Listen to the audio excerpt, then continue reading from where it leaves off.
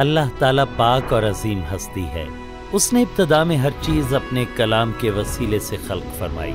जब हम ज़मीन और आसमान पर निगाह डालते हैं तो रब्बुल आलमीन की हमद करते हैं, जो रहमान और रहीम है। अल्लाह ताला की पैदा करदा हर एक चीज़ अच्छी थी। हर चीज़ अल्लाह तबारक ताला की आजमत, बुजुर्गी और कुदरत ज़ाहिर करती थी। अल्लाह ताला ने पहले किस्म किस्म के पौधे और हैवानात पैदा किए। इसके बाद खालिक कायनात ने ज़मीन की खाक से दुनिया के सबसे पहले इंसान का पुतला बना के उसमें रूह फूंकी तो वो पुतला जीता जागता इंसान बन गया। ये पहले इंसान आदम अलैहिस्सलाम थे। फिर खालिक कायनात ने हज़रत आदम पर गहरी नींद भेजी और उनकी पसलियों में से एक निकालकर बीबी हव्वा को बनाया।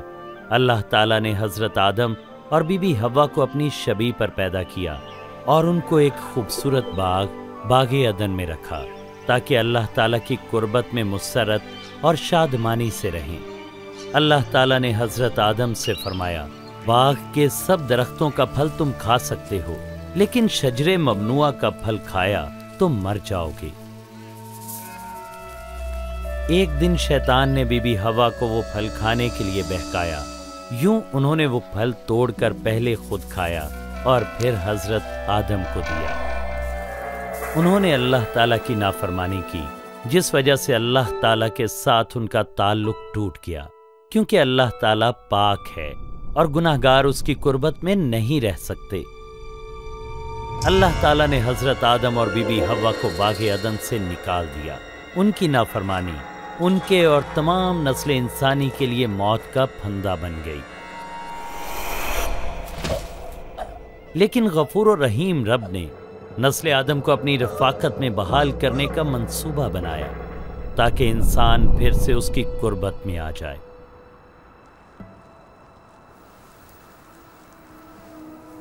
कलाम मुकद्दस में अल्लाह ताला ने बनी नौ इंसान के गुनाहों की मुआफ़ी और अपने साथ इंसान की रफाकत बहाल करने के मंसूबे को ज़ाहिर किया है। इस मंसूबे का कुछ हिस्सा अल्लाह ताला ने हज़रत इब्राहीम अलैहिस्सलाम पर ज़ाहिर किया।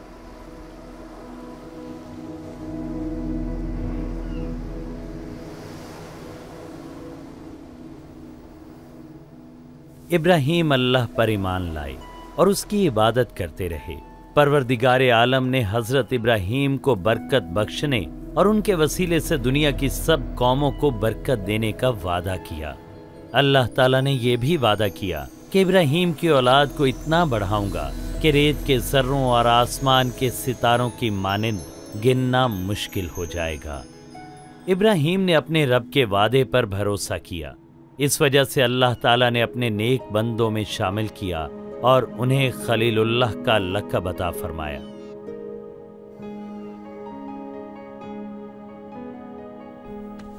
एक दफ़ा अल्लाह ताला ने हज़रत इब्राहीम को आजमाने के लिए एक हुक्म दिया। अल्लाह ताला ने आपसे फरमाया कि अपने अज़ीज़ फर्जंद को मेरी राह में कुर्बान कर दो। इब्राहिम जानते थे कि इसी बेटे से मेरी नस्ल चलेगी। फिर भी उन्होंने रब्बे करीम पर भरोसा किया और उसके हुक्म पर अमल किया।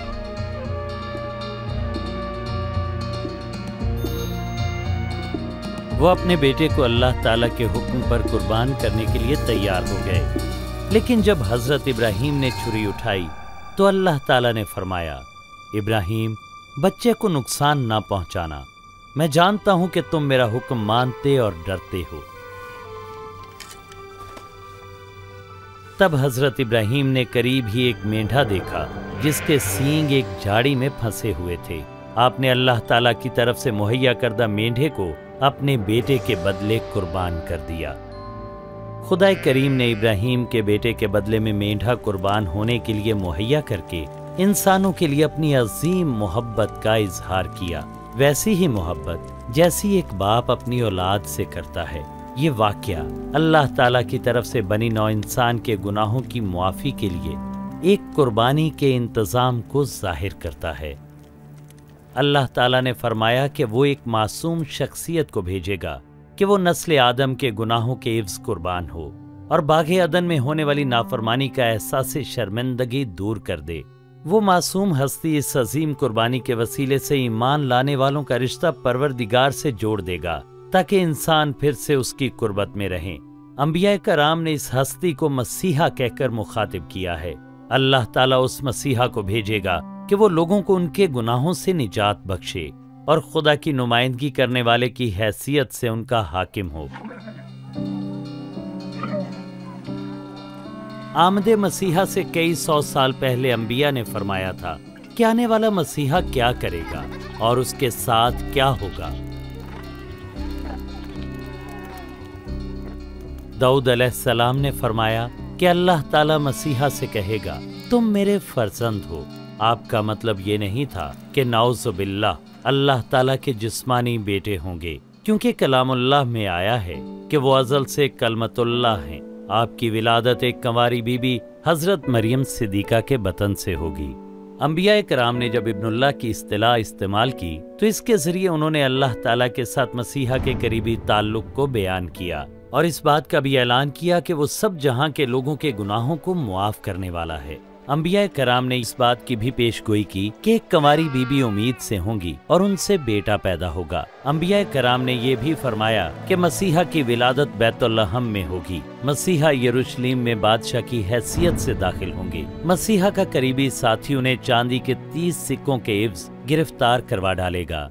हज़रत दाऊद ने फरमाया, मसीहा अपनी जान कुर्बान कर देंगे, मगर अल्लाह उन्हें तीसरे दिन फिर से ज़िंदा करेगा। हज़रत दानियाल ने मसीहा को आदमजाद कहकर मुखातिब किया और फरमाया कि वो बादलों पर सवार होकर सबसे ऊँचे आसमान तक पहुँच जाएँगे, जहाँ पर अल्लाह ताला उन्हें सारे जहान के लोगों पर इख्तियार बख्शेगा। 2000 बरस पहले एक हस्ती इस दुनिया में तशरीफ़ लाई, जिसका इसमें मुबारक ईसा अलमसी था, जिन्हें यस्सु अलमसी भी कहा जाता है। जब लोगों ने उनके हैरत अंगेज काम देखे तो एक दूसरे से सवाल करने लगे, क्या यही मसीहा हैं? अम्बिया कराम ने जो कुछ आने वाले मसीहा के मुतालिक फरमाया था, क्या वो सब कुछ इनकी ज़िंदगी में पाया जाता है इस फ़िल्म में ये दिखाया गया है कि इंजील शरीफ के मुताबिक हज़रत ईसा मसीह कौन है, आपने क्या किया और क्या फरमाया इस फ़िल्म में एक शख्स हज़रत ईसा मसीह का किरदार अदा कर रहा है। यूँ तो इंसान इस लायक नहीं, लेकिन ये फ़िल्म इसलिए बनाई गई है कि लोग मसीहा की पाकिजा ज़िंदगी के मुतालिक जान सकें और वो बरकत हासिल कर सकें, जिनका वादा परवरदिगार आलम ने फरमाया है। ए मुआजिज थियोफिलस, मैं उन वाक़त को तुम्हारे लिए ठीक ठीक और तरतीब वार लिखता हूँ, जो हमारे दरमियान पेश आई, ताकि तुम्हें हर एक बात से मुतल्लिक मालूम हो जाए।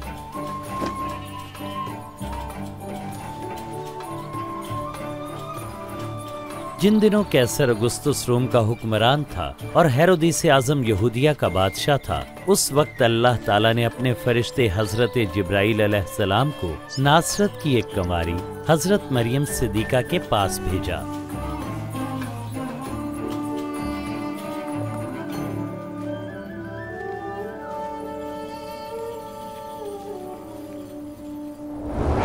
मरियम, आप खौफ ना खाएँ। अल्लाह ताला ने आपको चुन लिया है। आप उम्मीद से होंगी और बेटे को जन्म देंगी। आप उनका नाम ईसा अल मसीह रखना। ये कैसे हो सकता है? मैं तो कंवारी हूँ। रूह पाक आप पर नाजिल होगा और इसी सबब से वो इब्नुल्लाह कहलाएँगे और उनकी सल्तनत की कोई इंतहा ना होगी। हज़रत मरियम अपनी रिश्तेदार हज़रत अलिशबा से मिलने गईं। जो जईफ और बांझ थी। लेकिन अल्लाह ने उन्हें उम्मीद बख्शी। मरियम। मेरी बहन मरियम। आप तमाम औरतों में मुबारक हैं और आपसे होने वाला बच्चा भी मुबारक है। जो ही आपकी आवाज़ मेरे कानों में पड़ी मेरे पेट में बच्चा खुशी से उछल पड़ा। मेरी जान अल्लाह ताला की हमदो सना करती है और मेरी रूह मेरे नजात दहिंदा रब करीम से खुश है। अब से लेकर आने वाली तमाम पुश्तों के लोग मुझे मुबारक कहेंगे।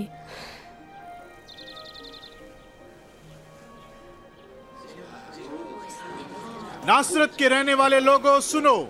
कैसर अगुस्तस के हुक्म से उन इलाकों में, जिनका वो हुक्मरान है, यानी जलील और यहूदिया में मर्दम शुमारी होगी, इस वजह से सब लोग उन इलाकों में जाकर अपने अपने नाम लिखवाएँ, जिन इलाकों में उनके आबा अजदाद पैदा हुए थे।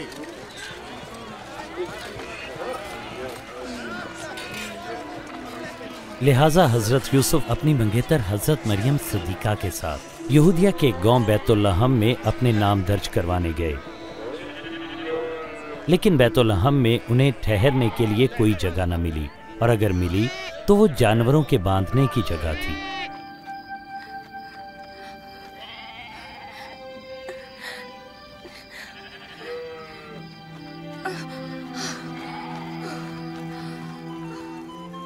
उन दिनों मुल्क के उस इलाके में कुछ चरवाहे रात के वक्त अपनी भेड़ों की रखवाली कर रहे थे। अचानक अल्लाह ताला के एक फरिश्ते का उन पर जहूर हुआ और अल्लाह ताला का नूर उनके चौगिर्द चमका। आज हज़रत दाऊद अलैहिस्सलाम के शहर बैतलहम में तुम्हारे लिए एक नजात दहिंदा की विलादत हुई है, जो हज़रत ईसा अल मसीह है।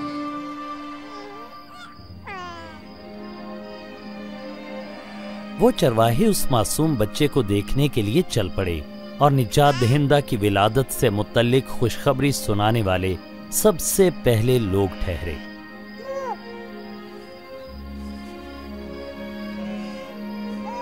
एक हफ़्ते बाद आपके खतने का वक्त आया तो आपका नाम ईसा रखा गया। हज़रत यूसुफ और बीबी मरियम आपको यरूशलेम ले गए ताकि आपको अल्लाह ताला के हजूर पेश किया जाए। बैतुल मकदस में एक बुज़ुर्ग और परहेजगार शख्स शमौन मौजूद थे। रूह पाक ने उनसे वादा कर रखा था कि जब तक वो मसीहा का दीदार ना कर लें मौत का मज़ा ना चखेंगे। ए इज़्ज़त अब अपने खादिम को अपने वादे के मुताबिक इत्मीनान से रुखसत फरमा दे।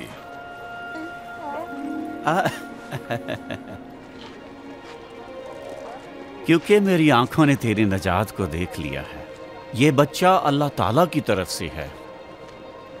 अल्लाह ताला तुम दोनों को बरकत दे।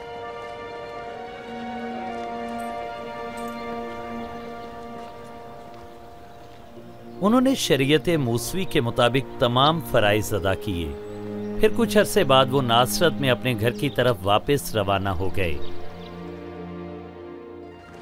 जब ईसा मसीह बारह साल के हुए तो हज़रत यूसुफ और बीबी मरियम उन्हें ईद फसा मनाने के लिए यरूशलेम ले गए। जब वो वापस आने लगे तो उनका ख्याल था कि हज़रत ईसा मसीह उनके साथ हैं। लेकिन ऐसा नहीं था। हज़रत ईसा मसीह पीछे रह गए थे। वो आपको ढूँढने के लिए तीन दिन चलकर वापस पहुँचे तो आपको यहूदी मजहबी उलमा के साथ बैठा हुआ पाया। ये बच्चा है कौन जो ऐसे सवाल कर रहा है? हमारा है। ये यहाँ रह गया था। इसे मुआफ फरमाइए। जिन लोगों ने हज़रत अल मसीह की बातें सुनी वो हैरान थे। बेटा आपने हमारे साथ ऐसा क्यों किया? हम परेशान होकर आपको ढूंढते फिर रहे थे। क्यों ढूंढ रहे थे? आपको पता नहीं कि मेरा अपने आसमानी बाप के घर में होना ज़रूरी था। और हज़रत अल मसीह उनके साथ नासरत आए। आप कदोकामत और हिकमत में बढ़ने के साथ साथ अल्लाह और इंसान दोनों की नज़र में मकबूल होते चले गए। ये फ़िल्म ईसा अल मसीह की ज़िंदगी की सच्ची कहानी है। ये कहानी लुका की इंजील से ली गई है। इंस्पिरेशनल फिल्म्स पेश करते हैं। ईसा इब्ने मरियम अलैहिस्सलाम।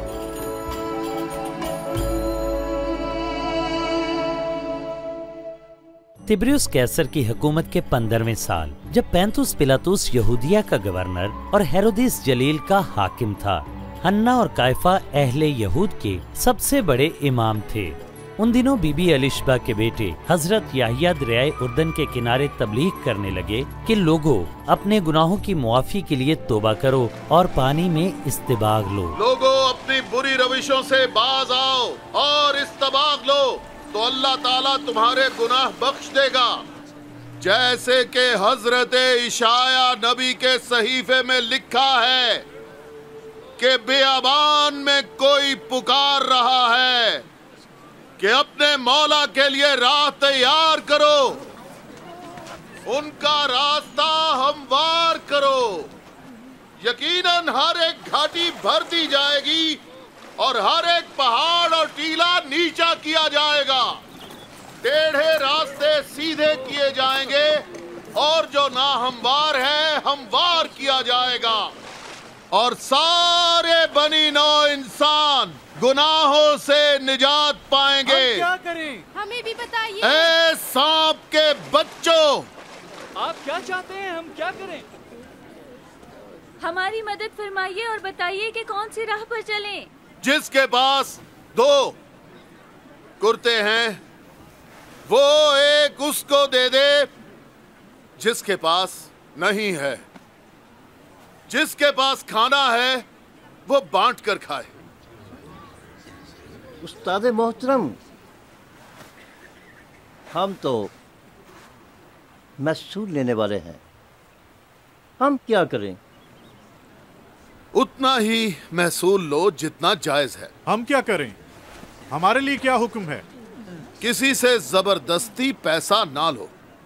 किसी पर झूठा इल्ज़ाम ना लगाओ। अपनी तनख्वाह में गुजारा करो।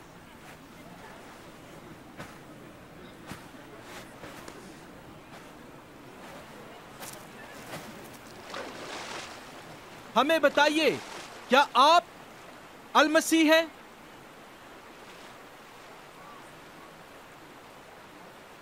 मैं तुम्हें पानी से इस्तबाक देता हूँ लेकिन आने वाला मुझसे भी ज़्यादा साहिब इख्तियार है। मैं तो उनकी जूती के तस्मे खोलने के लायक भी नहीं हूँ, लेकिन वो तुम्हें रूहे पाक और आग से इस्तबाक देंगे।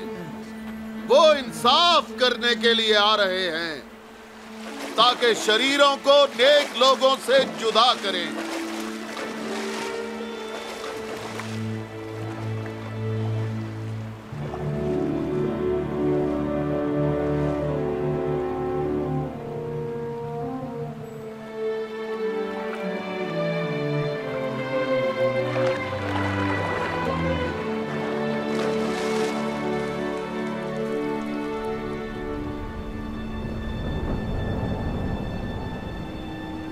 और रूह पाक कबूतर की सूरत में हज़रत ईसा मसीह पर आन ठहरा।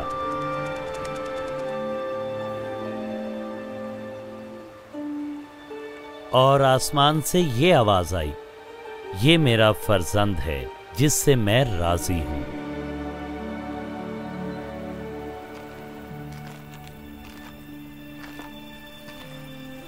जब हज़रत ईसा मसीह ने अपनी तबलीग का आगाज़ किया उस वक्त आपकी उम्र तीस बरस थी। आप रूहे पाक से मामूर होकर दरियाए उर्दन से वापस लौटे और रूहे पाक की रहनुमाई में बियाबान की तरफ़ तशरीफ़ ले गए, जहाँ पर आप 40 दिन तक इबलीस के ज़रिए आजमाए गए। इस दौरान आपने कुछ ना खाया पिया।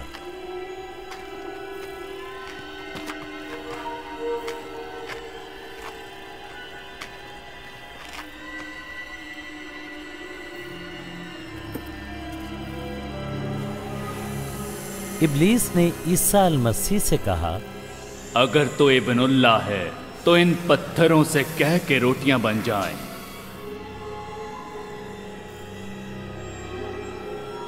लिखा है कि आदमी सिर्फ़ रोटी से नहीं, बल्कि कलामुल्लाह से जीता रहेगा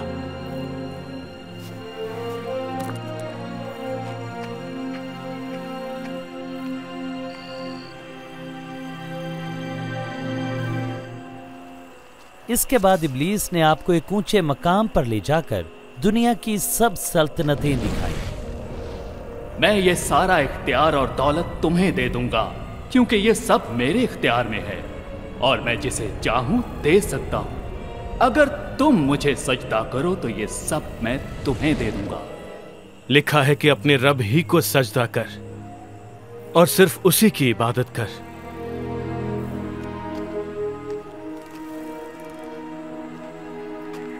फिर इबलीस आपको बैतुल मकदिस ले गया और सबसे ऊँचे किनारे पर ला खड़ा किया। अगर तू इबनुल्ला है तो अपने आप को यहाँ से नीचे गिरा दे क्योंकि लिखा है कि अल्लाह ताला फरिश्तों को भेजेगा ताकि वो तुझे संभाल ले और अपने हाथों पर उठा ले ताकि तेरे पाँव को पत्थरों से चोट ना लगे। कलाम अल्लाह में लिखा है कि तू अपने रब की आजमाइश ना कर।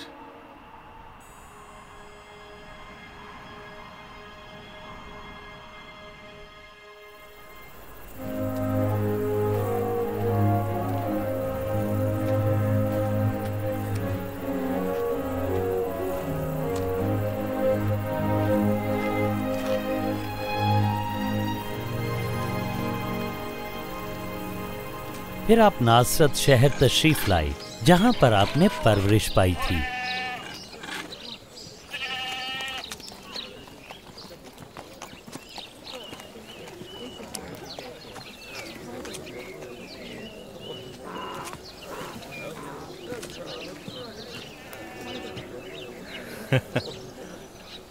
आदाब। आदाब।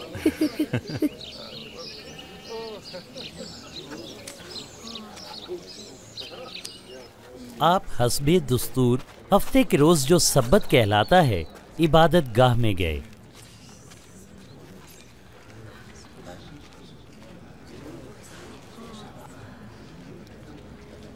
वहाँ आपको हज़रत इशाया के सहीफे से तलावत करने के लिए दावत दी गई।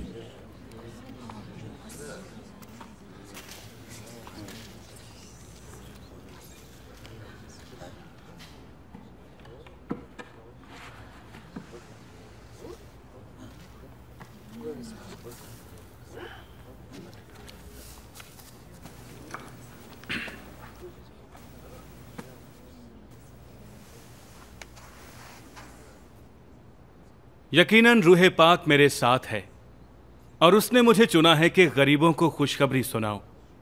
अल्लाह ताला ने मुझे भेजा है कि कैदियों को रिहाई और अंधों को बिनाई बख्शूं।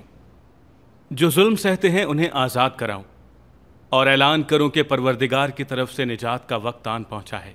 बातें तो ठीक कर रहा है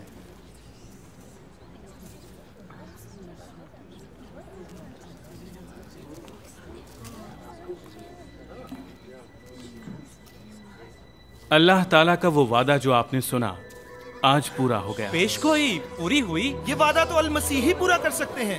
हम कैसे यकीन करें?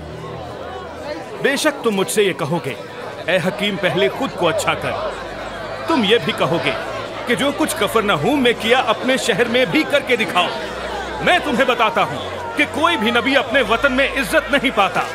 हज़रत ईसा ने अपने आप को इन अल्फाज के ज़रिए वो मसीहा ज़ाहिर किया, जिसे लोगों की निजात के लिए भेजने का वादा अल्लाह ताला ने कर रखा था। यहूदी उन्हें बतौर मसीह कबूल नहीं करते थे।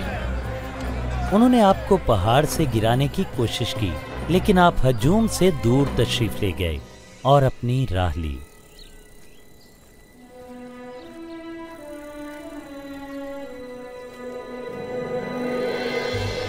और वहाँ से जलील के एक शहर कफर नहूम तशरीफ़ लाए।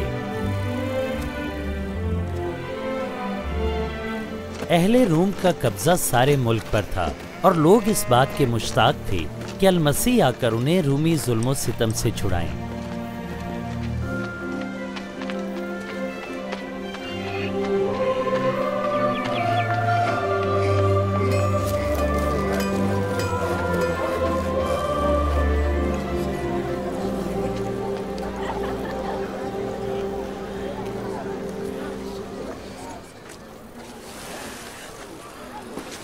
अस्सलाम वालेकुम वालेकुम अस्सलाम शमाउन क्या मैं कश्ती में आ जाऊँ ज़रूर मौला क्या मौला कहीं जा रहे हैं हमें तालीम दीजिए मौला हमें सिखाइए। हमें दीन सिखाइए।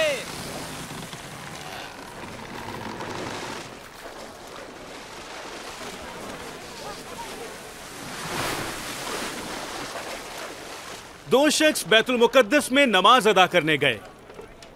एक आलम दीन, दूसरा महसूर लेने वाला। आलम दीन यूँ दुआ मांगने लगा, ए अल्लाह, मैं तेरा शुक्र करता हूँ कि बाकी लोगों की तरह लालची बदयानत और जिनाकार नहीं हूँ, और तेरा शुक्र करता हूँ कि उस महसूर लेने वाले की तरह भी नहीं। हफ़्ते में दो रोज़े रखता हूँ, अपनी कमाई का दसवां हिस्सा भी देता हूँ। लेकिन महसूल लेने वाला सर झुकाए चुपचाप अल्लाह के हजूर खड़ा रहा। फिर सीना पीट पीट कर कहने लगा, या अल्लाह, मुझ गुनाहगार पर रहम कर। मैं तुम्हें बताना चाहता हूँ कि यह आलम दीन नहीं बल्कि महसूल लेने वाला था जिसकी दुआ कबूल हुई। खुद को बड़ा करने वाला छोटा किया जाएगा और जो खाकसार है, बुलंद होगा।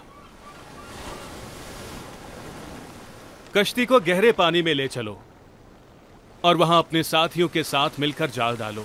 ए मेरे मालिक, हमने सारी रात मेहनत की है, मगर एक मछली हाथ नहीं आई। आपका हुक्म है तो मैं जाल डाल देता हूँ। याकूब, यूहन्ना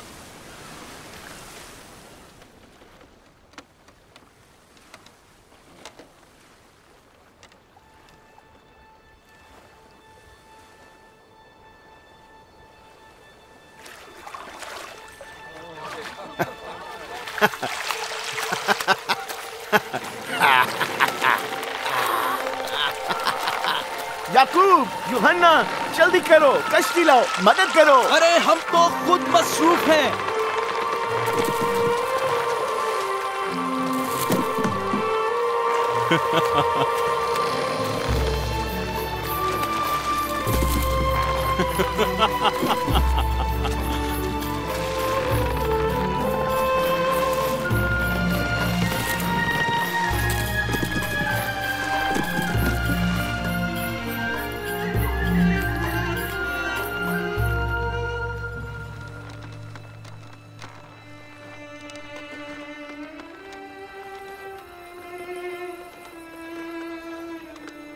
मौला यहाँ से चले जाइए।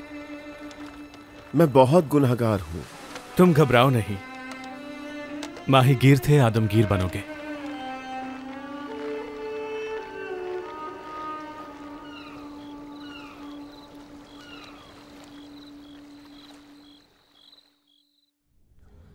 मेरे पास आओ और मेरी तालीम सुनो तो तुम ज़िंदा रहोगे।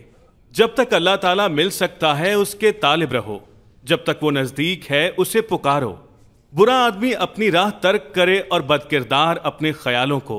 अगर वो परवरदिगार की तरफ़ रजू लाए तो रब्बुल इज़्ज़त उस पर रहम करेगा क्योंकि हमारा खुदा गफूर और रहीम है। तुम खुशी के साथ बाहर जाओगे और सलामती के साथ वापस लौटोगे। मौला तशरीफ़ ला रहे हैं। देखो वो आ गए। हजूर मेरे मौला मेरी बेटी को बचा लीजिए। हजूर रहम करें। वो बारह बरस की है और मरने वाली है। खुदारा मेरे साथ चलिए। रहने दो यार। मालिक। बच्ची मर गई है। अब मौला को जहमत ना दो। परेशान ना हो यार। ईमान रख तो वो ठीक हो जाएगी।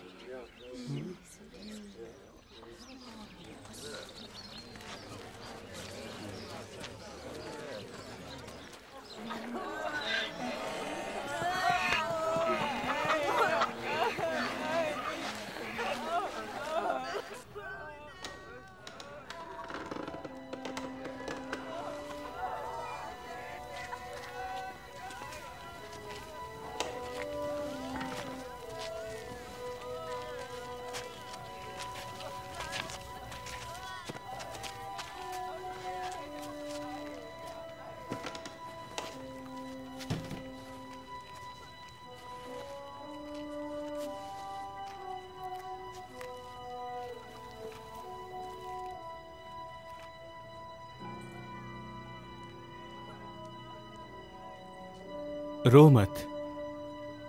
वो मरी नहीं बल्कि सो रही है।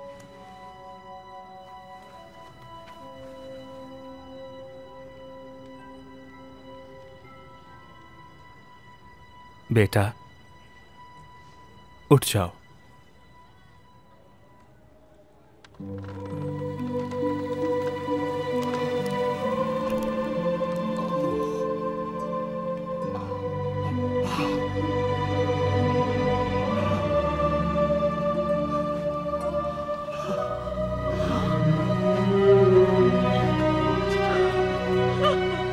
इसे कुछ खाने को दो। और सुनो, किसी से इसका ज़िक्र ना करना।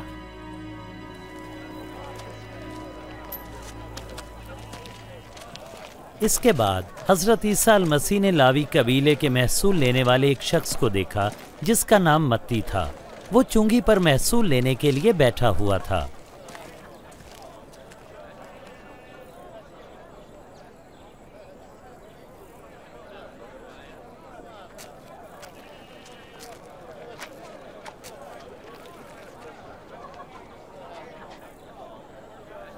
मेरे पीछे आओ।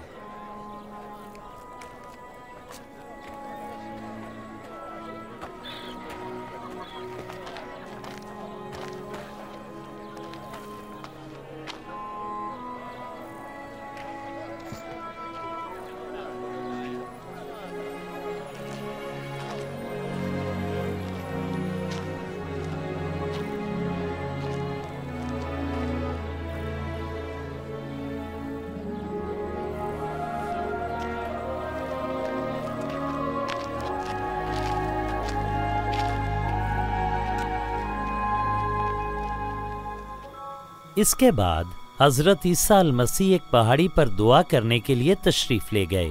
आप सारी रात वहाँ पर अल्लाह का ज़िक्र करते रहे।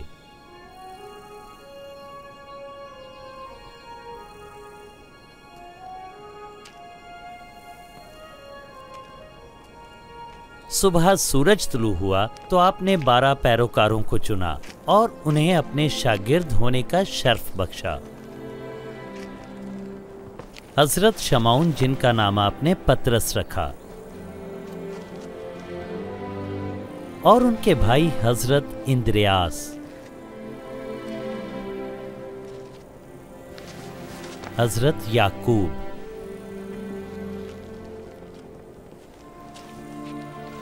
और हज़रत योहन्ना। और हज़रत फिलिपुस और हज़रत बरतलमाई। हज़रत मत्ती।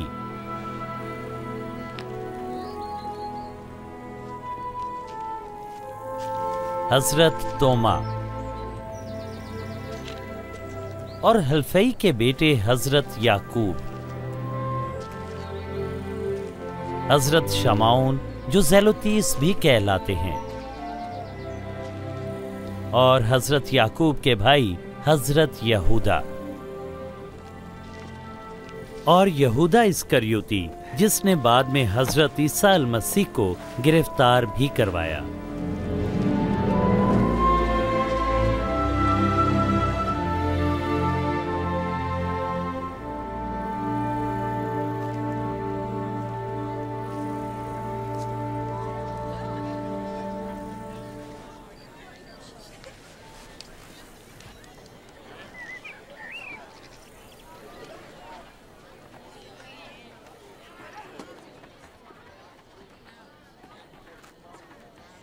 मुबारक हो तुम जो गरीब हो, क्योंकि तुम ही जन्नती होगे। तुम भूखे हो तो मुबारक हो क्योंकि आसूदा किए जाओगे। तुम रोते हो तो मुबारक हो क्योंकि तुम हंसोगे। जब लोग तुम्हें बेइज्जत करें, तुमसे नफरत करें तो तुम मुबारक होगे। और अगर मेरी वजह से तुम्हें बुरा कहें, उस वक्त तुम खुशी मनाना और शादमान होना, क्योंकि जन्नत में तुम्हारे लिए बड़ा अजर है। इनके बुज़ुर्गों ने तो अंबिया के साथ भी यही सलूक किया था।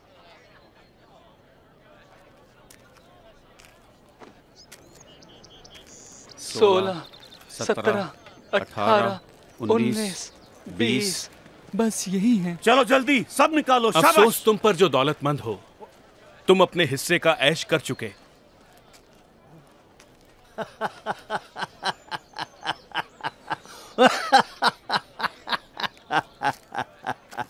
लगता है ये अमीर नहीं बनना चाहता। अफसोस तुम पर जो आज हँसते हो क्योंकि तुम रोगे और मातम करोगे। जब लोग तुम्हें नेक कहें तो अफसोस। उनके बुज़ुर्ग झूठे नबियों के मुतालिक यही कहते थे।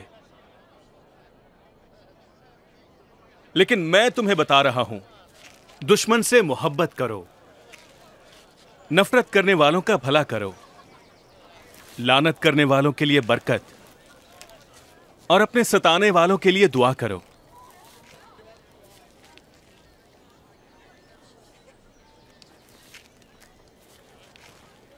अगर कोई तुम्हें तमाचा मारे तो दूसरा गाल भी फेर दो।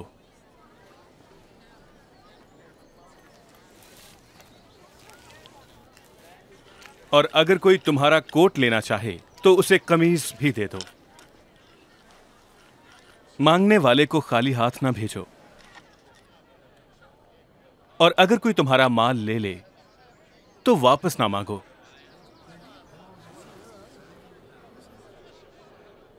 दूसरों से वो सलूक करो जो चाहते हो तुम्हारे साथ किया जाए।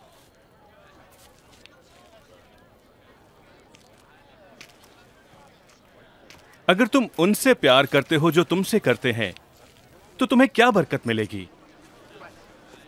ऐसा तो गुनाहगार भी करते हैं।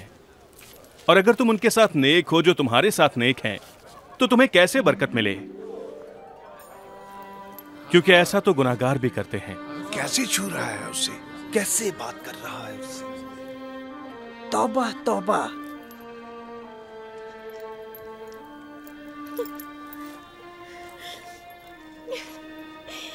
नहीं। दुश्मनों से मोहब्बत करो और उनका भला करो। वापसी की तवक्को के बगैर दो। इसमें तुम्हारे लिए बड़ा अजर है। यूँ तुम खुदा ताला के चुने हुए कहलाओगे। अल्लाह शरीरों और नाशुक्रों पर भी मेहरबान है।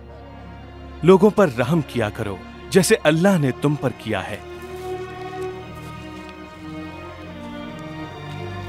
ईसा मसीह हमें बचाइए। ऐब जोई ना करो तुम्हारी भी नहीं होगी।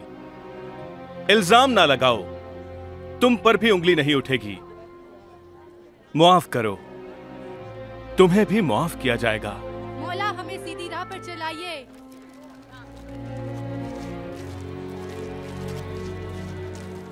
दो तो तुम्हें भी दिया जाएगा। जितना देते हो उतना ही तुम्हें भी दिया जाएगा। अंधा अंधे को राह नहीं दिखा सकता। अगर वो ऐसा करे तो दोनों गड्ढे में गिरेंगे। अपने भाई की आँख का तिनका देखने वाले तो अपनी आँख का शैतीर क्यों नहीं देखता?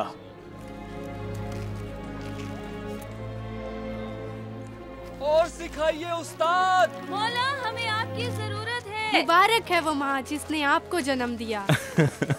इससे बढ़कर मुबारक वो हैं जो कलाम सुनते हैं और अमल करते हैं। मैं इस आदमी को जानना चाहता हूँ। तुम्हारा क्या ख्याल है क्या ये मसीहा है?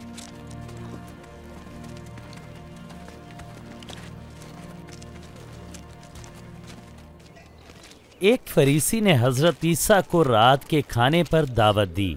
आप तशरीफ़ ले गए और उसके साथ खाना खाने बैठे। बच्चों चलो जाओ यहाँ से। सुना नहीं तुमने? जाओ शरारते करते हैं लेकिन अच्छे बच्चे हैं। ये क्या कर रही है यहाँ? पता नहीं।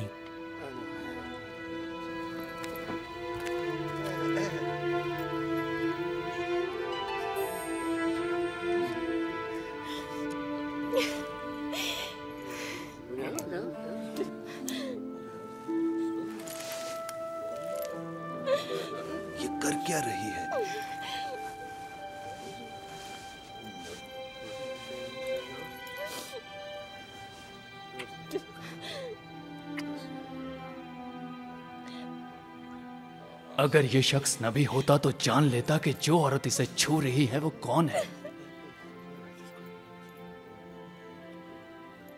इसे पता होता कि वो कितनी गुनाहगार है। शमाउन मैं जानता हूँ ये औरत कौन है। मैं तुम्हें एक बात बताता हूँ। दो आदमियों ने एक शख्स से कर्ज लिया। एक ने पाँच सौ, दूसरे ने सिर्फ़ पचास। दोनों में से कोई भी वापस ना कर पाया, उसने दोनों को माफ़ कर दिया। कौन ज़्यादा मोहब्बत दिखाएगा? मेरा ख्याल है वो जिसका ज़्यादा कर्जा माफ़ हुआ। ठीक कहा तुमने।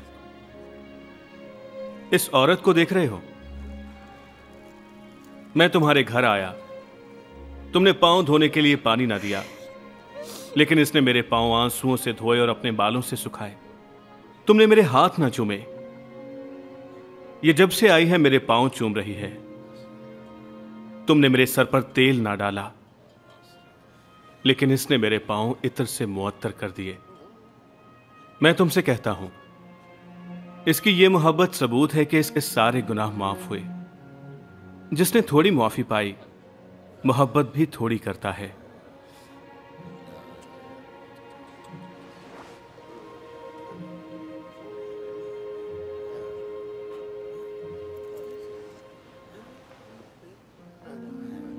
तुम्हारे गुनाह माफ़ हुए बेटा। तुम्हारे ईमान ने तुम्हें बचा लिया, सलामती से जाओ।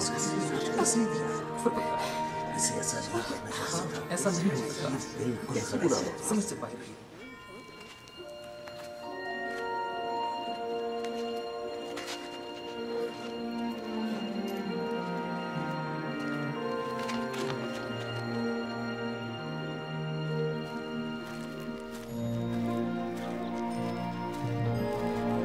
इस साल मसीह गाँव गाँव और शहर शहर घूमकर मुमलिकत इलाहिया की तबलीग करते रहे। आपके बारह शागिर्द साथ साथ रहते और कुछ खातन भी जिन्होंने बदरूहों से शिफा पाई थी। हज़रत मरियम जो मजदल की रहने वाली थी। हज़रत युआना, जिनके शौहर का नाम खूजा था और वो हेरोदिस के महल में काम करते थे। और हज़रत सुसन्ना भी उनके साथ थीं।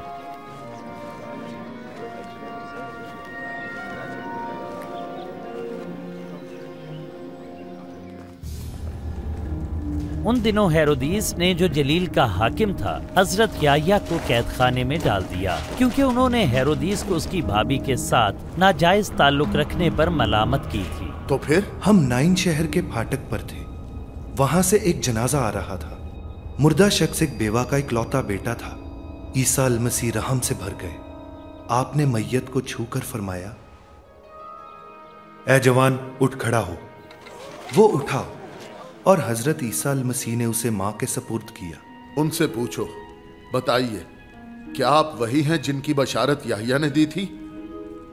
या हम किसी और की राह देखें?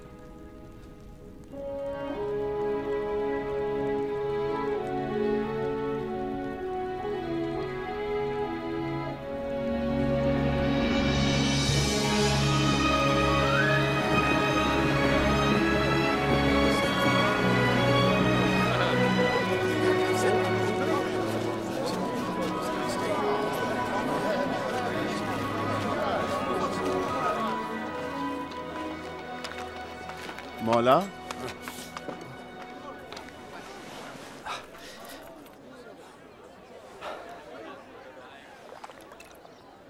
मौला हज़रत याया ने यह पूछवाया है क्या आप वही हैं जो आने वाले थे या हम किसी और का इंतज़ार करें? जाओ जो कुछ देखा है याहिया को बताओ। कि अंधे देखते हैं और लंगड़े चल रहे हैं और मुबारक हैं वो जो मुझ पर शक नहीं करते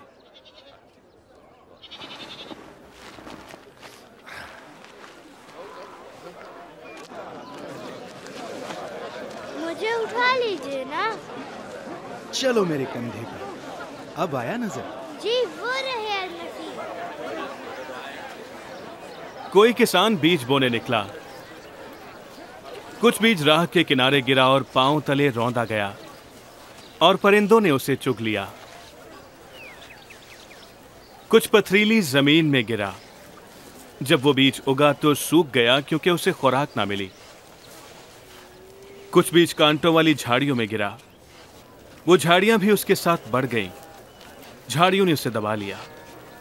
कुछ बीज अच्छी ज़मीन में गिरा। और जब उस अच्छी ज़मीन में गिरा तो सौ गुना फल लाया। मौला लोगों की भीड़ में आप तमसीलों में क्यों बात करते हैं? तुम्हें अल्लाह ताला के भेदों का इल्म बख्शा गया है। लेकिन दूसरों से तमसीलों में कलाम करता हूँ ताकि वो देखकर भी ना देखें। और सुनते हुए ना समझें।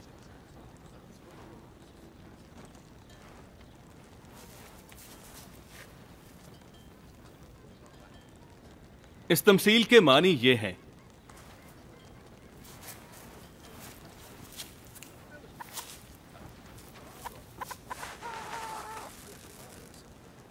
बीज, अल्लाह का कलाम है।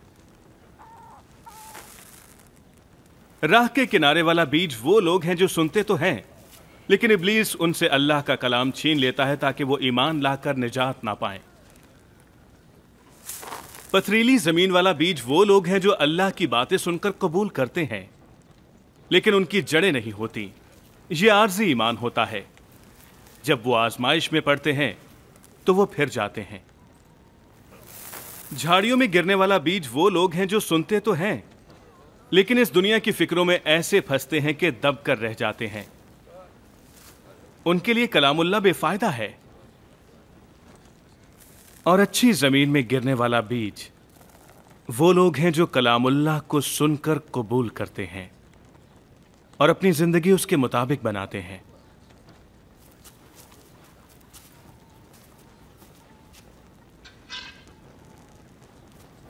चिराग जलाकर बर्तन के नीचे नहीं रखते। और ना चारपाई के नीचे।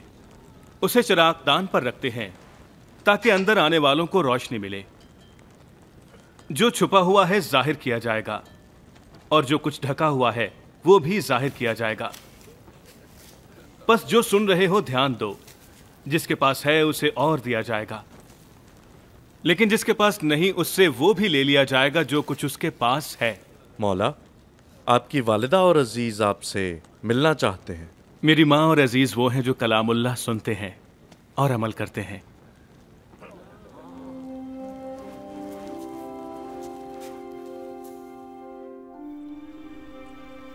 एक दफ़ा हज़रत ईसा मसीह अपने शागिर्दों के साथ कश्ती में थे।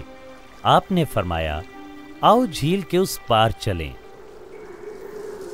कश्ती चलना शुरू हुई तो आप सो गए।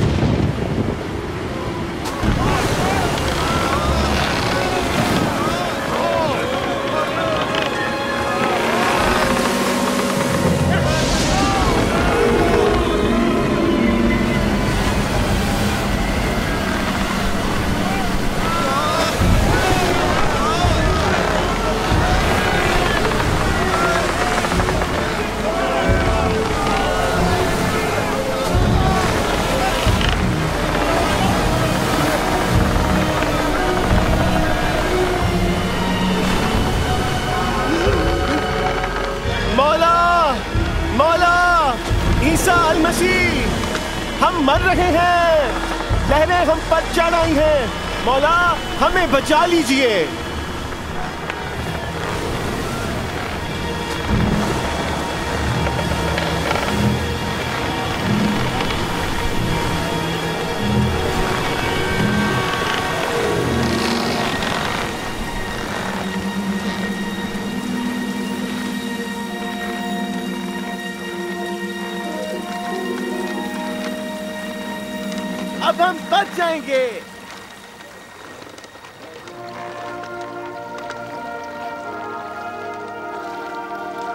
क्या हो गया तुम्हारे ईमान को?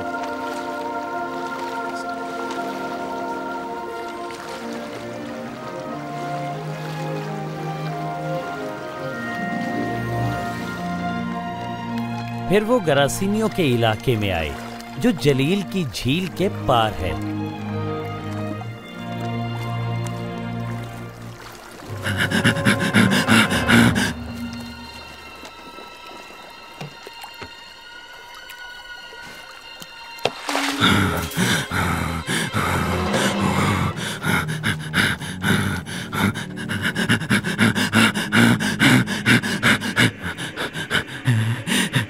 ईसा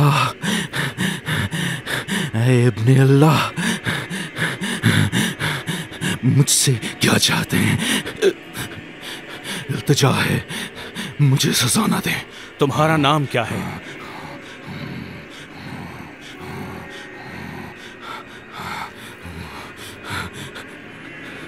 लश्कर आपसे मिन्नत है। हमें अजाब में ना डालिए। के रेवड़ में भेज दें।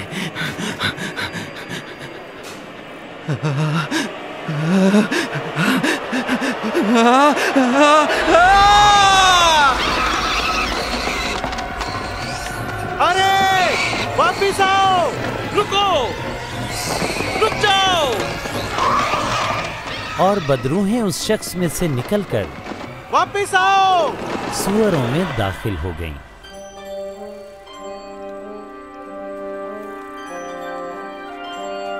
ए जादूगर! जा यहाँ से हमें छोड़ दे। इस जगह से चला जा। हमें छोड़ यहाँ से चला जा। मौला मैं आपके साथ चलूँगा। मुझे साथ ले चलें। तुम अपने घर जाओ और बताओ अल्लाह ने रहम किया है।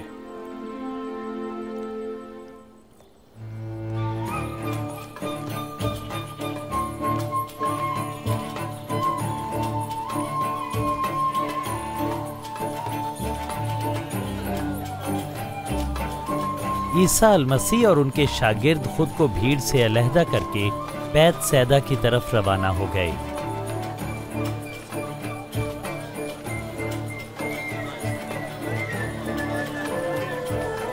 लेकिन हजूम भी उनके पीछे हो लिया।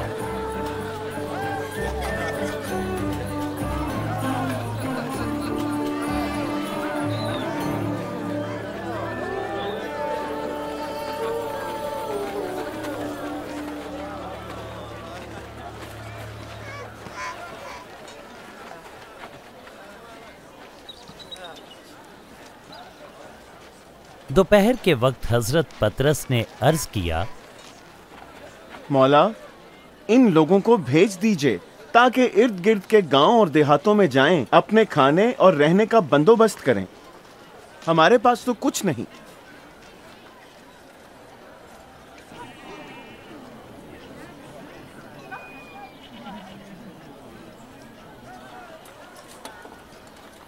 तुम ही इन्हें कुछ खाने पीने को दो। हमारे पास सिर्फ़ ये पाँच रोटियाँ और दो मछलियाँ ही हैं।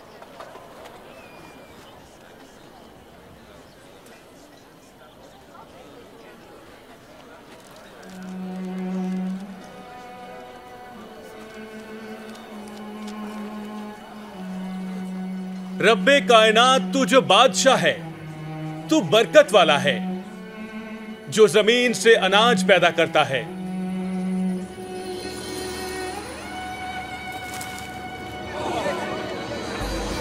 ये तो मौजसा हो गया। ये नाकाबले यकीन है।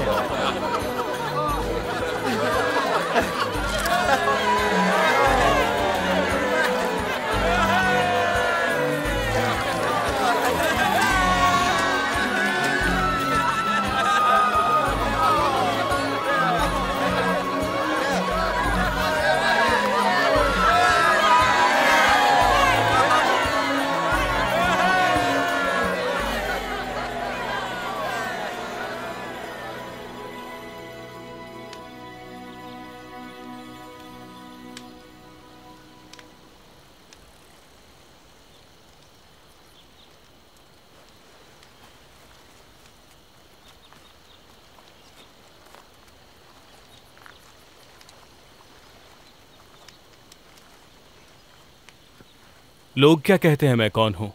कुछ कहते हैं कि आप हज़रत यहया हैं और कुछ हज़रत इलियास कहते हैं। कुछ लोग कहते हैं कि आप पहले अंबिया में से एक हैं जो ज़िंदा हो गए हैं। तुम क्या कहते हो? तुम्हारा क्या ख्याल है?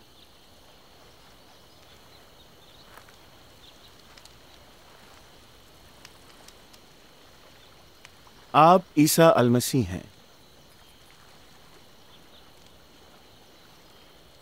ये बात किसी से ना कहना जरूर है कि मैं दुख उठाऊं और रद्द किया जाऊं मसलूब किया जाऊं और तीसरे दिन मुर्दों में से जी उठूं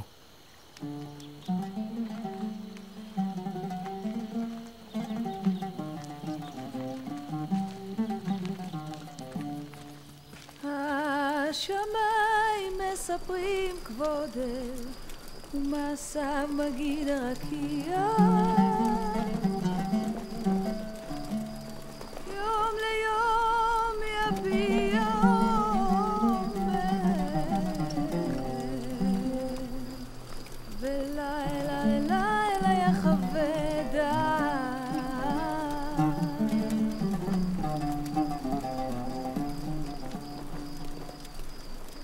तुम में से कौन मेरा पैरोकार होगा? मौला मैं आपके साथ चलूँगा।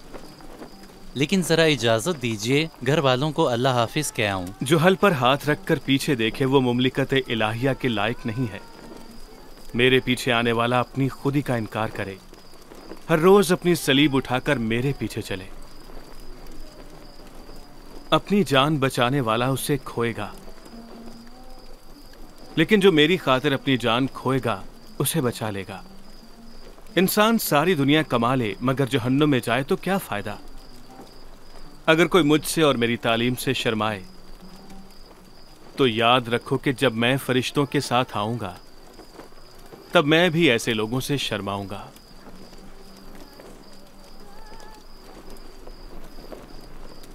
मैं कहता हूँ, तुम में से कुछ लोग जब तक अल्लाह की बादशाहत ना देखें, वो मरेंगे नहीं।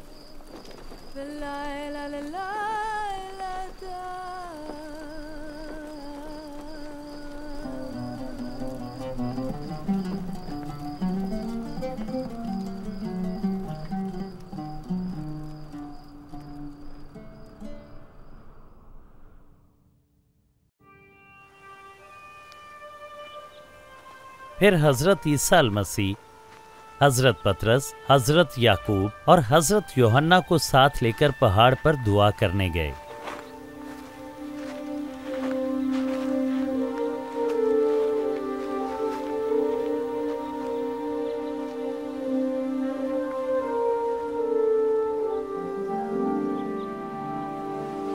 जब आप दुआ कर रहे थे तो आपका चेहरा चमकने लगा। और पोशाक सफ़ेद हो गई। अचानक दो बुज़ुर्ग आपसे गुफ्तगु करने लगे। ये हज़रत मूसा और हज़रत इलियास थे जो आसमान से ज़ाहिर हुए थे। आप अल्लाह ताला के मंसूबे को पूरा करेंगे। यरूशलेम में आपका इंतकाल होगा।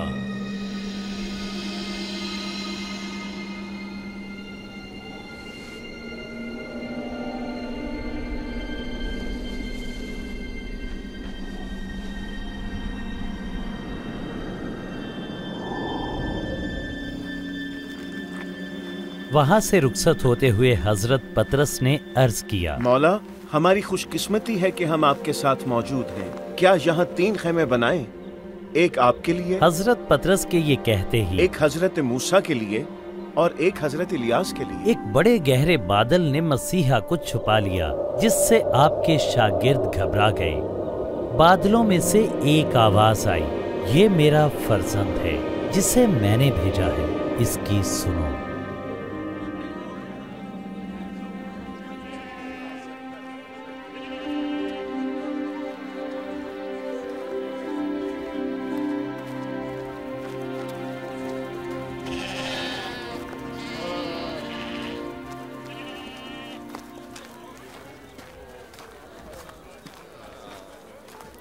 मौला मौला, मेरे बेटे को बचा लीजिए।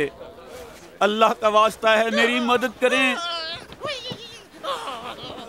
मेरा एक ही बच्चा है। आपके शागिर्दों से दरखास्त की कि उसमें से बदरू निकालें, उनसे कुछ ना हुआ। ए कम एतकाद और टेढ़े लोगों, मैं कब तक तुम्हारे साथ रहकर बर्दाश्त करूँगा? बच्चे को लाओ।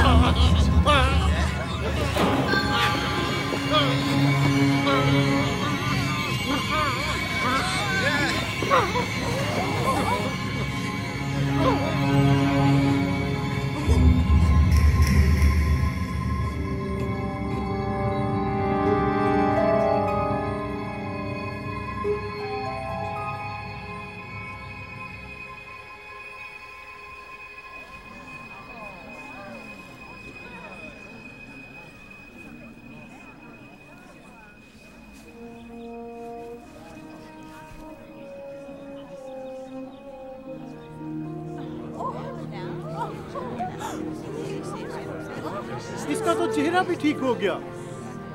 या अल्लाह तेरा शुक्र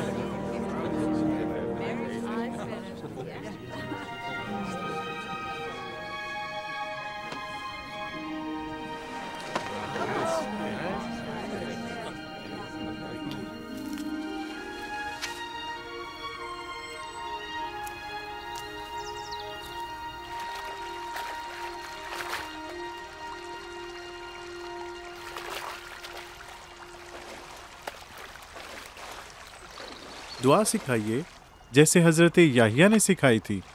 जब दुआ करो तो यूँ कहो ए हमारे आसमानी बाप, तेरा नाम पाक माना जाए, तेरी बादशाही आए, तेरी आसमानी मर्ज़ी ज़मीन पर भी पूरी हो। हमारे रोज की रोटी हमें अता कर, हमारे गुनाह वैसे माफ़ फरमा, जैसे हम अपने कसूरों को माफ़ करते हैं। हमें आजमाइश में न ला, बल्कि बुराई से बचा।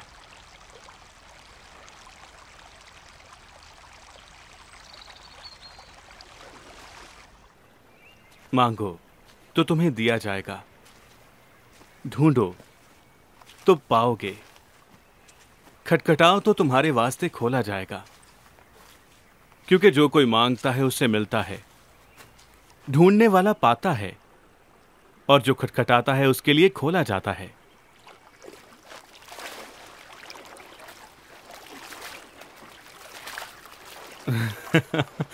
क्या तुम्हें कोई ऐसा बाप है, जो अपने बच्चों को मछली मांगे तो सांप दे, या अंडा मांगने पर बिच्छू दे। तुम बुरे होकर भी अपने बच्चों को अच्छी चीज़ें देते हो। तो फिर सोचो, आसमानी बाप उन लोगों को रूहे पाक क्यों ना बख्शेगा, जो उससे मांगेंगे। गौर से सुन लो, इस बात की फ़िक्र ना करो कि क्या खाओगे, और ना अपने बदन की के क्या पहनोगे। क्योंकि जान खुराक से बढ़कर है और बदन पोशाक से कहीं ज़्यादा बढ़कर है। कव्वों को देखो जरा। ना वो कोई फ़सल बोते हैं, ना काटते हैं और ना ही उनका कोई गोदाम है। फिर भी अल्लाह उन्हें खिलाता है। तुम्हारी कदर तो खुदा की नज़र में इन परिंदों से कहीं ज़्यादा है।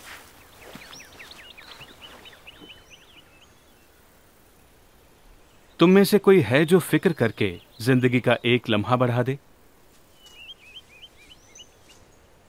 अगर तुमसे यह नहीं हो सकता तो फ़िक्र करते ही क्यों हो? इन पौधों को देखो, कैसे बढ़ते हैं। इनकी खड्डियाँ हैं, ना कपड़े बुनते हैं। सुलेमान बादशाह अपनी ढेरों दौलत के बावजूद ऐसा लिबास नहीं पहनते थे। अगर अल्लाह घास को जो कल आग में जाएगी ऐसी खूबसूरत पोशाक पहनाता है तो तुम्हें अच्छा लिबास क्यों ना पहनाएगा? ऐ कम ईमान वालो हमारा ईमान बढ़ाइए। अगर तुम्हें रत्ती बराबर भी ईमान होता और तुम इस दरख्त से कहते कि जड़ से उखड़कर समंदर में जा गिर तो वो तुम्हारा हुक्म मानता।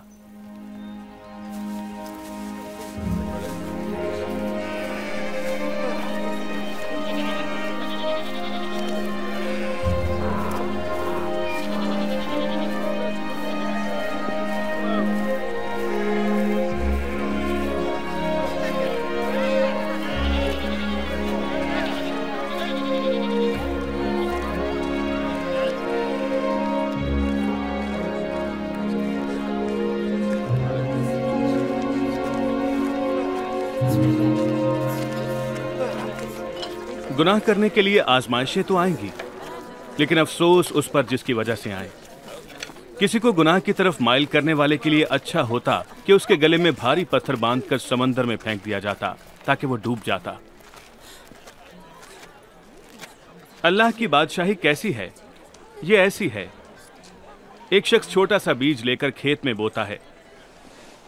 वो उगता है और दरख्त बन जाता है, और उसकी डालियों पर परिंदे बसेरा करते हैं। मुझे नहीं पता ये क्या कहता है। तुम लोग महसूल लेने वालों और गुनाहगारों के साथ क्यों खाते पीते हो? डॉक्टर की ज़रूरत तंदुरुस्तों को नहीं बल्कि बीमारों को होती है। मैं इसलिए नहीं आया कि नेक लोगों को बुलाऊं बल्कि इसलिए कि गुनहगार तौबा करें। मोला बादशाहत क्या है? कुछ और बताइए ना। डरो मत। अल्लाह ताला को यह पसंद है कि तुम अपना सारा माल बेचकर पैसा गरीबों में बांट दो। ऐसे बटवे लो जो पुराने नहीं होते और अपना माल आसमान पर जमा करो, जहाँ वो कभी खराब नहीं होता। वहाँ चोर चोरी नहीं कर सकता, ना ही कीड़ा खराब करेगा। क्योंकि जहाँ तुम्हारा माल है, वहीं तुम्हारा ध्यान होगा।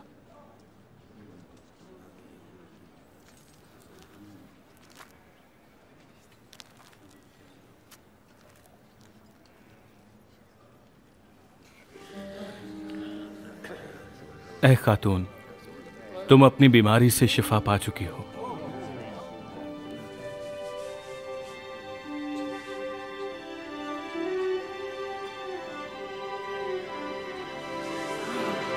देखो देखो वो ठीक हो गई है। आओ देखो ये मौजूदा है वो ठीक हो गई है। आओ आओ देखो। अल अल्हम्दुलिल्लाह अठारह बरस से बीमार थी। अल्लाह आपको महफूज रखे। छह दिन हैं जिनमें हम काम करते हैं शिफा के लिए आना है तो इनमें से किसी दिन आओ। इबादत के दिन नहीं।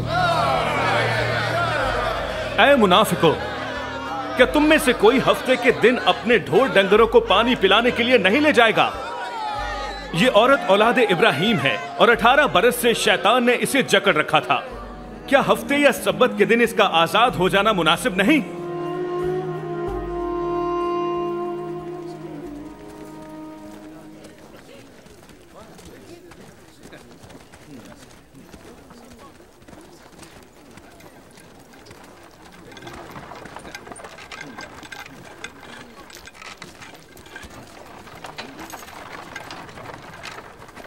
नेक उस्ताद मुझे बताइए कि जन्नत में जाने के लिए मुझे क्या करना चाहिए? तू मुझे नेक क्यों कहता है? नेक तो सिर्फ़ अल्लाह की जात है। मूसा की शरीयत से वाकिफ हो। तुम जिना ना करना ना खून करना और ना ही किसी पर झूठा इल्ज़ाम लगाना। अपने माँ बाप की इज़्ज़त करना। ये सब कुछ तो मैं बचपन से ही करता चला आ रहा हूँ। तो फिर एक और काम भी करना है। अपना सारा माल बेचकर गरीबों में बांट दे। फिर तुझे आसमानी खजाना मिलेगा। तब आकर मेरे पीछे हो लेना। लेकिन हम तो ताजर हैं हम दौलतमंद हैं। कितना मुश्किल है किसी का जन्नत में दाखिल होना। अमीर आदमी का जन्नत में दाखिल होना उतना ही मुश्किल है जितना ऊँट का सुई के नाके से गुजरना। फिर कौन नजात पाएगा? जो इंसान के लिए नामुमकिन है अल्लाह के लिए मुमकिन है। तो बताइए कब आएगी ये अल्लाह की बादशाही? अल्लाह की बादशाही ऐसी नहीं जो देखी जा सके। कोई भी नहीं कहेगा कि देखो, अल्लाह की बादशाही यहाँ है या वहाँ, क्योंकि वो इस वक्त तुम्हारे साथ है।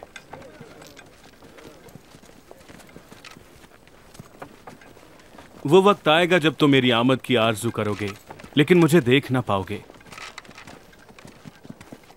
जैसे आसमान पर बिजली चमकती हुई एक सिमत से दूसरी सिमत चली जाती है, मेरी आमद भी ऐसे ही होगी। लेकिन ज़रूर है कि मैं पहले दुख उठाऊं और इस जमाने के लोग मुझे रद्द करें।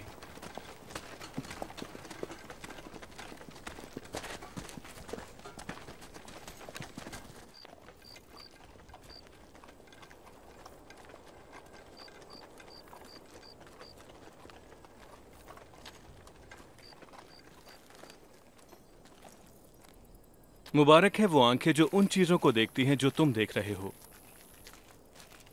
क्योंकि बहुत से अंबिया और बादशाहों ने आरज़ू की मगर ना देख पाए। ना ही वो सुन पाए जो तुम सुन रहे हो। हमें क्या करना चाहिए? तौरेत क्या कहती है? और तुमने क्या समझा है? अल्लाह ताला से मोहब्बत कर अपने पूरे दिल सारी जान सारी ताकत और सारी अकल से और पड़ोसी से अपनी मानित मोहब्बत कर। ठीक कहा यही कर और जीता रहे। मेरा पड़ोसी कौन है? सिपाही तो नहीं हो सकते। क्या रूमी बादशाह मेरा पड़ोसी हो सकता है? एक शख्स यरूशलेम से अरीहा की तरफ़ जा रहा था। कि डाकुओं ने उसे घेर लिया। उसे मार मार कर अधमुआ कर दिया और छोड़कर चले गए। ऐसे हुआ कि एक यहूदी इमाम का उस राह से गुजर हुआ। जब उसने उस जख्मी शख्स को देखा तो कतरा कर चल दिया। थोड़ी देर बाद एक मुअज्जन वहाँ से गुजरा। जख्मी के पास उसे जाकर देखा लेकिन उसने भी अपनी राह ली। लेकिन जब हकीर समझी जाने वाली सामरी कौम का एक शख्स वहाँ से गुजरा तो जख्मी को देखकर उसका दिल भर आया। सामरी ने उस शख्स के जख्मों पर मरहम लगाकर पट्टी बांधी और अपनी सवारी पर बिठाकर शिफा खाने ले गया। अगले दिन वो फिर गया और तबीब को उसका खर्च अदा किया और कहा कि जब मैं वापस आऊँगा तो इस पर और जो खर्चा होगा, मैं वो भी अदा कर दूँगा। अब बताओ डाकुओं के हाथों जख्मी होने वाले शख्स के साथ इन तीनों में से किसने पड़ोसियों वाला सलूक किया? जो उस पर मेहरबान हुआ। तुम भी यूँ ही करो। बच्चों को मेरे पास आने दो। इन्हें मना ना करो। अल्लाह की बादशाहत ऐसो ही की है। मैं तुमसे सच कहता हूँ कि जो अल्लाह की बादशाही को बच्चे की तरह कबूल नहीं करता वो उसमें दाखिल भी नहीं होगा। इन बच्चों को कबूल करने वाला गोया मुझे कबूल करता है। मुझे कबूल करना मेरे भेजने वाले को कबूल करना है। तुम में जो सबसे छोटा है, वही सबसे बड़ा है।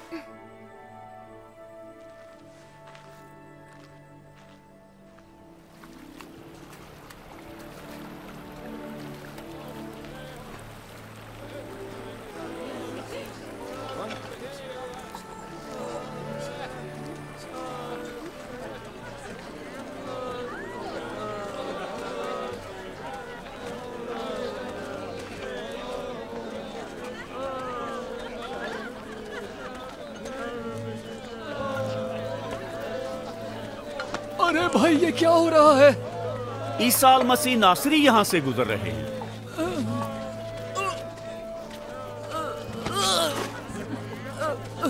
अल मसीह इब्ने दाऊद, मुझ पर रहम कर। अय इब्ने दाऊद, मुझ पर रहम कर।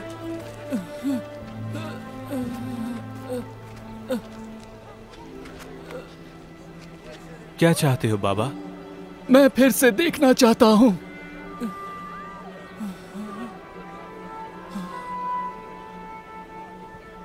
लो देखो। तुम्हारे ईमान ने तुम्हें शिफा बख्शी। मैं देख सकता हूँ। मैं देख सकता हूँ। मैं देख सकता हूँ। अल्लाह, तेरा शुक्र हो। मैं देख सकता हूँ।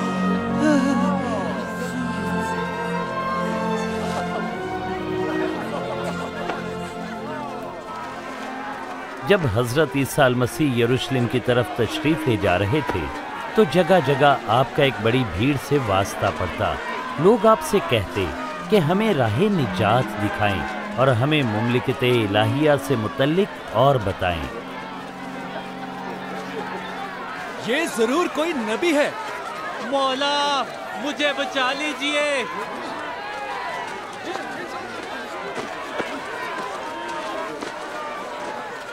मौला हमें बचा लीजिए। अल्हम्दुलिल्लाह। मालिक हमें सीधी राह दिखाइए। एक महसूल लेने वाला शख्स जकाई आपको देखने दरख्त पर जा चढ़ा क्योंकि लोग ईसा मसीह को मौला तस्लीम करने लग गए थे। ये है वो महसूल लेने वाला। जिकाई नीचे आओ। आज मैं तुम्हारे घर चलूँगा। मेरे घर? इसके घर में जाना कौन पसंद करेगा? जकई हज़रत ईसा मसीह को कैसे जानता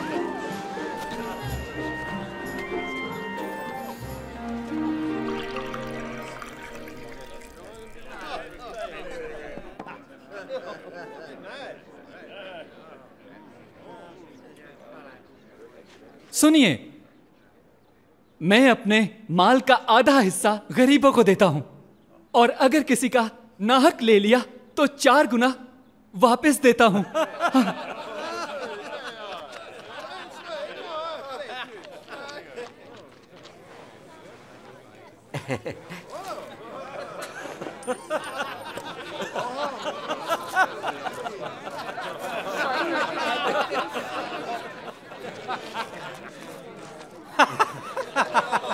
वाह वाह, हैरत है।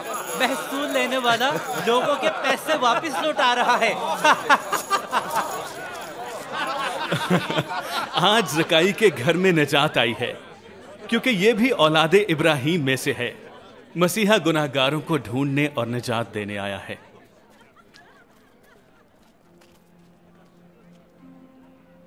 सुनो, हम यरूशलेम जा रहे हैं।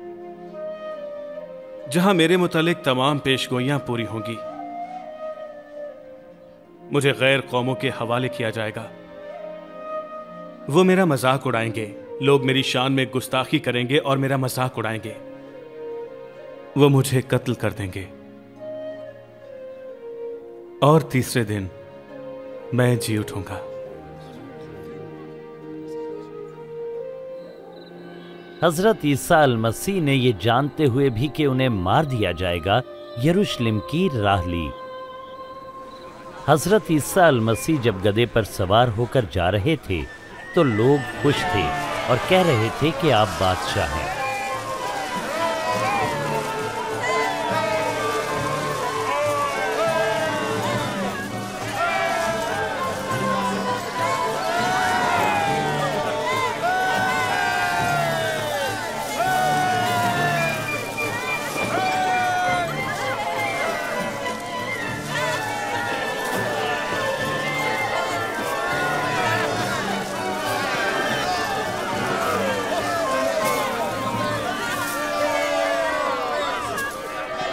शागिर्दों से कहिए कि खामोश रहे। मैं बताऊँ अगर ये खामोश हो गए तो फिर पत्थर चिल्लाना शुरू कर देंगे।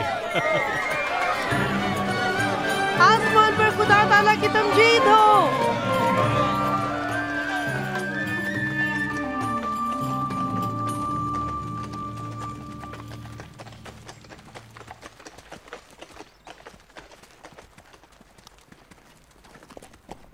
जब हज़रत ईसा अल मसीह यरूशलेम के करीब तशरीफ़ लाए तो उस पर निगाह करके रोने लगे।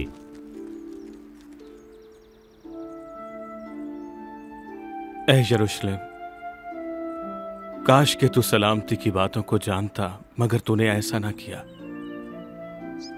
वो दिन आएँगे जब तेरे दुश्मन, तेरे गिर्द मोर्चा बाँध कर तुझे घेर लेंगे और हर तरफ़ से घेरा तंग कर देंगे। इन्हीं दीवारों के अंदर तबाह कर डालेंगे। तुझे और तेरे बच्चों को। वो तेरी ईंट से ईंट बजा देंगे, इसलिए कि तूने अपनी निजात के वक्त को नहीं पहचाना।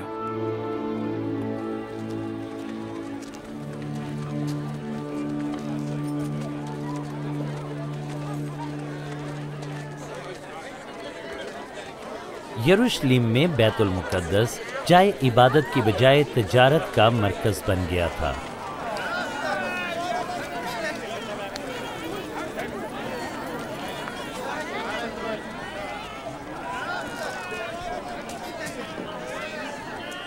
बारह तेरह चौदह पंद्रह सोलह, सत्रह, अठारह, उन्नीस, बीस, इक्कीस, बाईस, तेईस, चौबीस, पच्चीस, छब्बीस, सत्ताईस, अट्ठाईस, उनतीस, तीस, इकतीस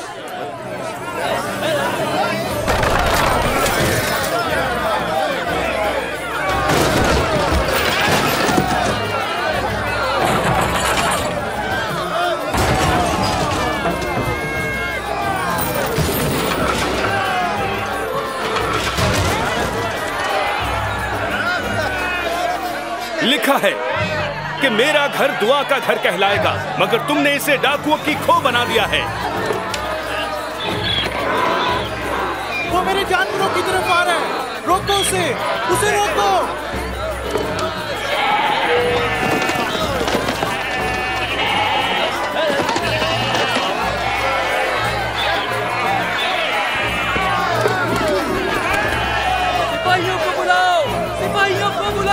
कुछ सियासी और मजहबी लोगों की वजह से मुखालिफत बढ़ने लगी क्योंकि लोग हज़रत ईसा अल मसीह को बादशाह कह रहे थे। मैं समझता हूँ लोगों ने उसे बादशाह मान लिया है। बादशाह? भिकारियों और डाकुओं का बादशाह ऐसे बहुत से देखे हैं। आकर दावा करते हैं और चले जाते हैं। लोग भूल जाते हैं। अंधे मत बनो उसके पैरोकार बढ़ रहे हैं। लोग उसकी तारीफ़ करते हैं। और उसे बादशाह समझते हैं। मैं तुम्हें खबरदार करता हूँ। अगर ये शख्स झगड़े फिसाद का सबब हुआ तो इसके जिम्मेदार तुम होगे।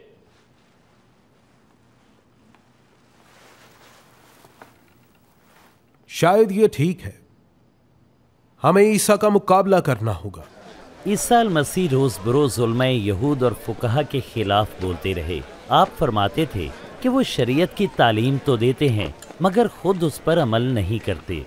ईसा अल मसीह ने बैतुल मुकद्दस में एक बेवा को दो पैसे का हदिया देते हुए देखा।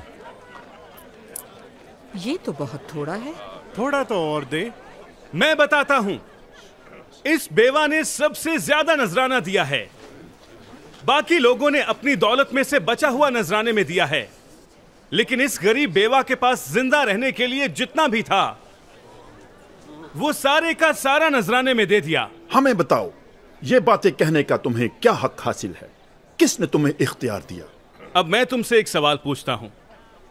तुम ये बताओ कि याहिया को किसने इख्तियार दिया था कि वो लोगों को इस्तबाक दे?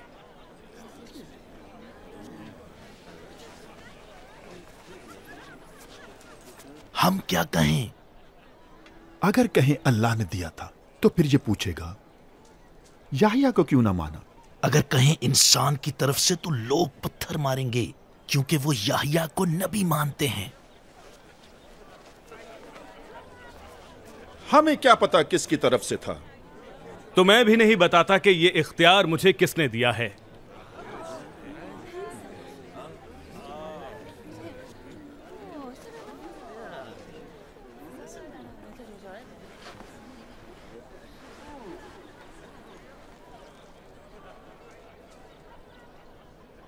एक दफ़ा किसी शख्स ने अंगूरों का बाग लगाया और उसे ठेके पर दे दिया और लंबे अरसे के लिए कहीं चला गया।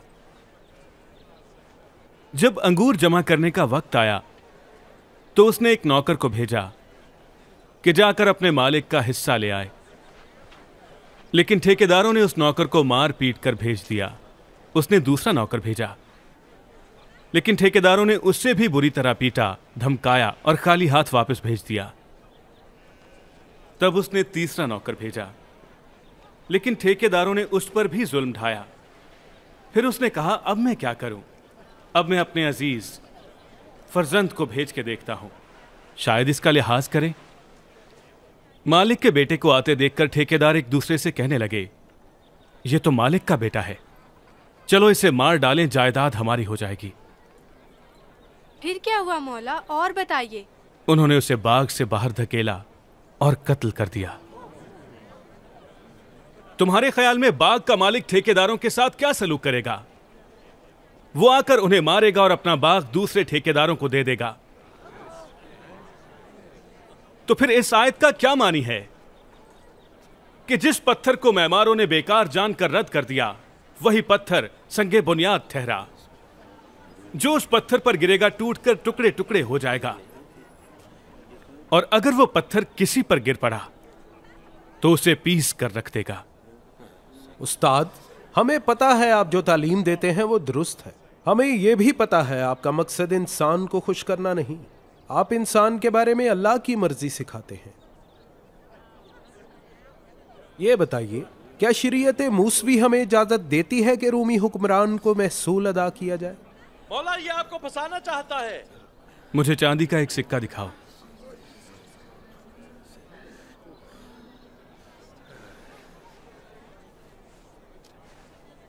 इस पर तस्वीर और नाम किसका है?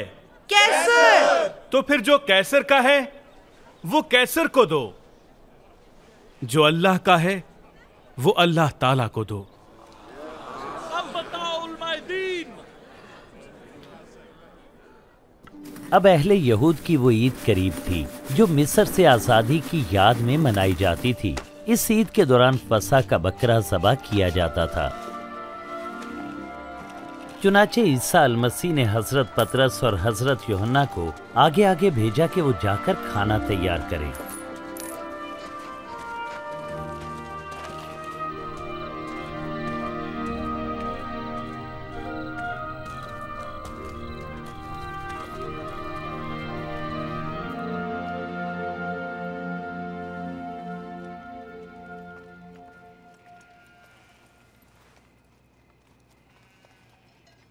मैं चाहता था कि दुख उठाने से पहले एक आखिरी खाना तुम्हारे साथ खाऊं। ये बात समझ लो। अब दोबारा तुम्हारे साथ जन्नतुल फिरदौस में ही खा सकूँगा।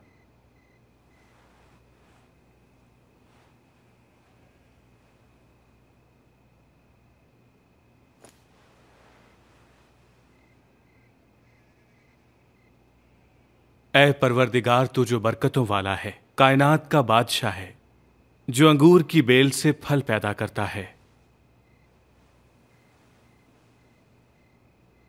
ये लो और सब मिलकर इसमें से पी लो।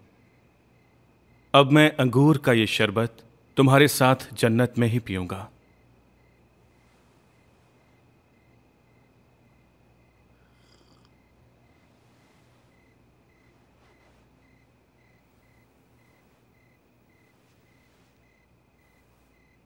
ए रब्बे कायनात, तू जो बादशाह है, कायनात का बादशाह है, तू ज़मीन से अनाज उगाता है।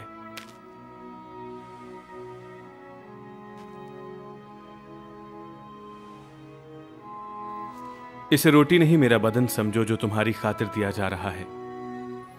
ऐसे ही मुझे याद किया करना।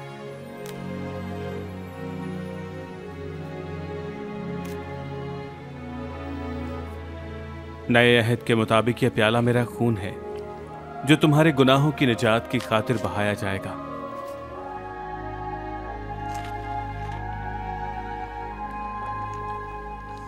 मुझे गिरफ़्तार करवाने वाला हमारे साथ यहाँ खाना खा रहा है। मुझे तो मरना ही है क्योंकि यह अल्लाह की मर्ज़ी है लेकिन अफसोस मेरे पकड़वाने वाले पर। क्या वो शख्स मैं हूँ?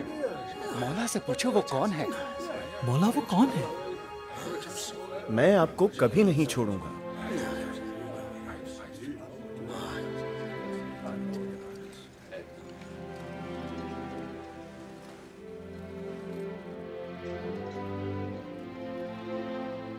तुम में जो सबसे बड़ा है, वो छोटा है।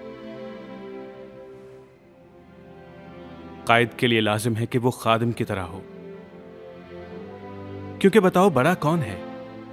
वो जो बैठकर खाता है, या वो जो खिदमत करता है? यकीनन वो ही जो बैठता है। लेकिन मुझे देखो, तुम्हारे दरमियान खादिम की हैसियत से हूँ। मेरी सब आजमाइशों में तुम मेरे साथ शरीक रहे हो। मेरे आसमानी बाप ने मुझे अदालत करने का जो इख्तियार बख्शा है वही इख्तियार मैं तुम्हें दूँगा। जन्नतुल फिरदौस में तुम मेरे साथ खाओ पियोगे और मेरे साथ मिलकर बनी इसराइल के बारह कबाइल का इंसाफ करोगे। फिर तो हम में कोई गदार नहीं। शमाउन शमाउन सुनो शैतान ने बहुत कोशिश की। कि तुम सबको गेहूँ की तरह फटके और तुम्हारे ईमान का इम्तहान ले। लेकिन मैंने ये दुआ मांगी कि तुम्हारा ईमान कायम रहे। जब मेरी तरफ़ वापस पलटो तो अपने भाइयों को मज़बूत करना। मौला मैं आपके साथ जेल जाने बल्कि मरने को तैयार हूँ। सुनो पत्रस आज मुर्ग के बांग देने से पहले तुम तीन बार मुझे पहचानने से इनकार करोगे।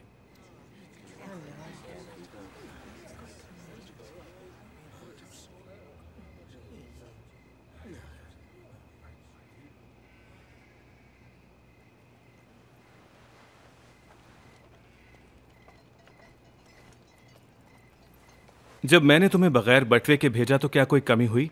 नहीं बिल्कुल नहीं। लेकिन अब जिसके पास बटवा या थैला है ले ले। और जिस किसी के पास तलवार नहीं है वो खरीद ले। मैं बता रहा हूँ पाक कलाम में लिखा है कि उसका शुमार खताकारों के साथ हुआ। और ज़रूर है कि मेरी बाबत जो लिखा है वो पूरा हो। ये देखिए यहाँ दो तलवारें हैं मालिक।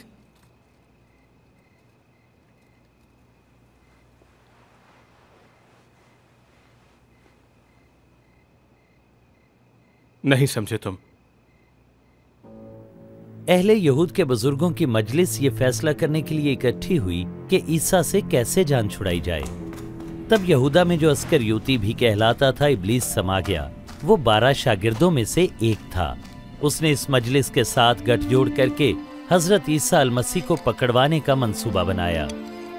उधर हज़रत ईसा अल मसीह यरूशलेम से कोहे जैतून की तरफ़ दुआ करने के लिए रवाना हुए।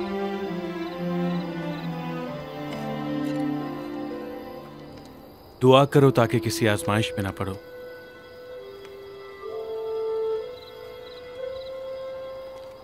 यहूदा अस्कर युति ने चांदी के सिर्फ़ तीस सिक्कों के इव्ज हज़रत ईसा मसीह को बेच डाला।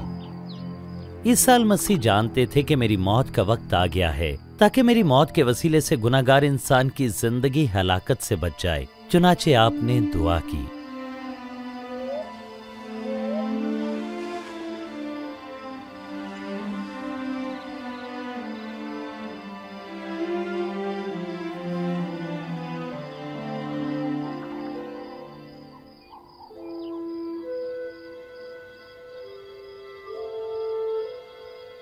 आसमानी बाप, अगर तेरी मर्ज़ी हो तो ये आजमाइश मुझसे हटा ले।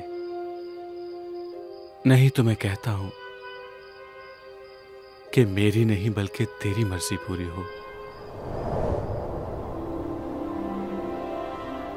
इस दौरान आसमान से एक फरिश्ता आपको तकवीत देने के लिए उतरा। उस वक्त आपका पसीना गोया खून की बूंदें बन बनकर ज़मीन पर टपक रहा था।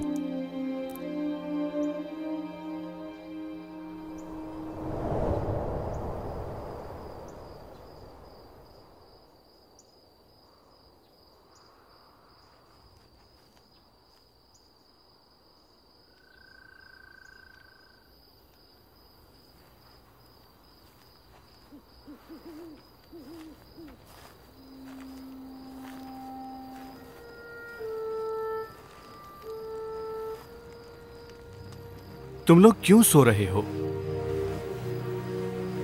उठो और दुआ मांगो कि किसी आजमाइश में ना पड़ो।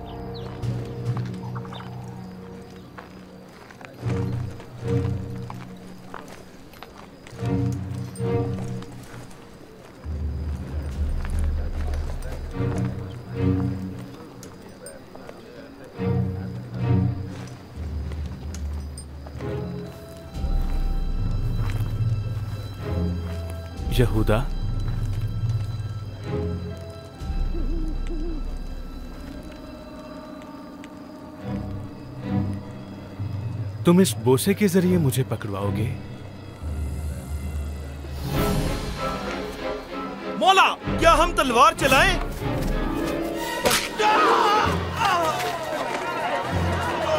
इसे गिरफ़्तार कर लो। बस बहुत हो गया।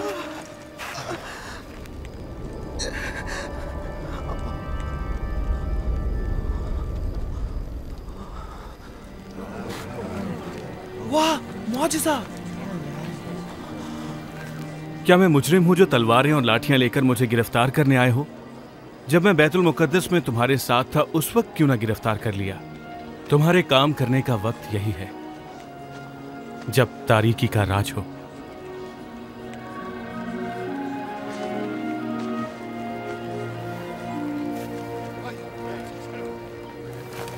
पकड़ लो इसे।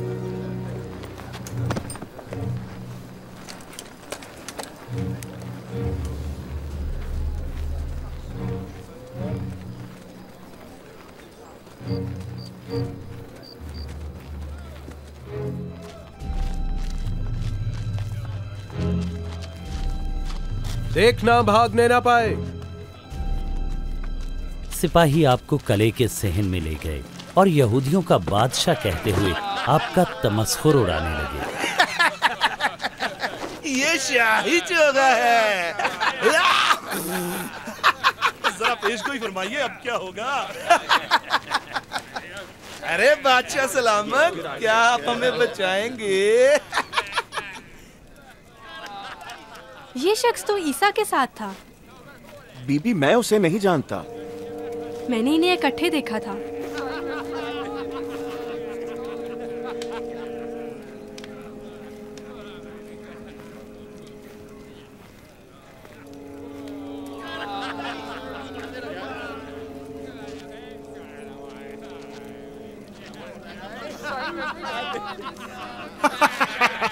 आपका अदना खादम बादशाह सलामत।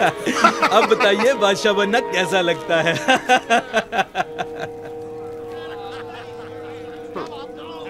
तुम भी उनके साथी हो ना? नहीं मैं नहीं हूँ।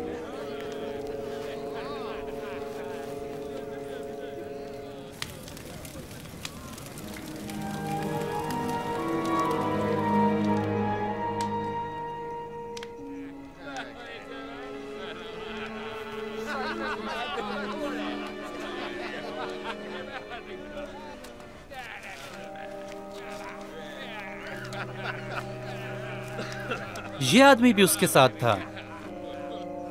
क्योंकि ये भी जलीली लग रहा है। अरे हटा। नहीं नहीं आपको गलत फहमी हुई है।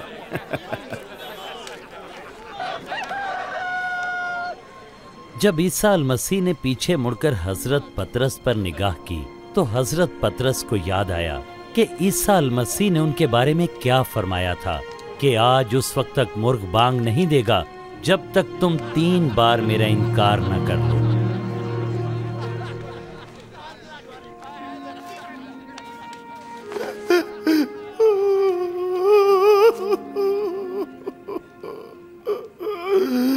अल्लाह, मुझ पर राम फरमा, तू रहीम करीम है।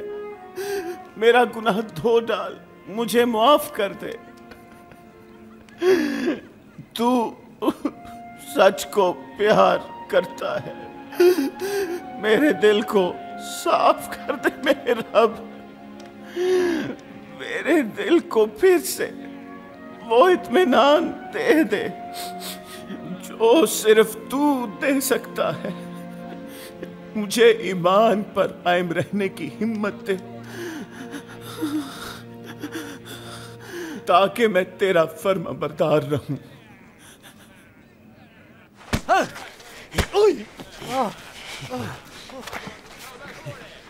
बता किसने मारा? पेश कोई करो। अब कौन मारेगा? बस करो। मैंने कहा रुक जाओ। इसे मजलिस में लेकर आओ। चलो।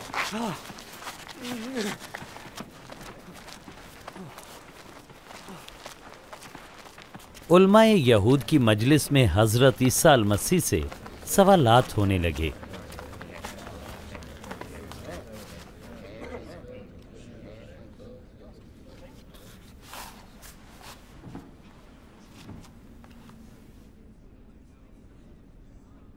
हमें बता कि क्या मसीहा तू ही है?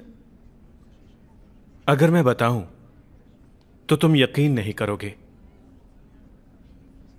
और अगर मैं सवाल पूछूँ तो तुम जवाब नहीं दोगे।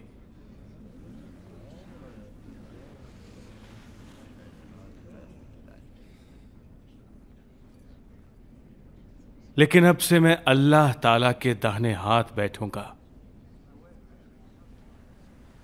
तो क्या तुम इबनुल्लाह हो। हाँ मैं हूँ।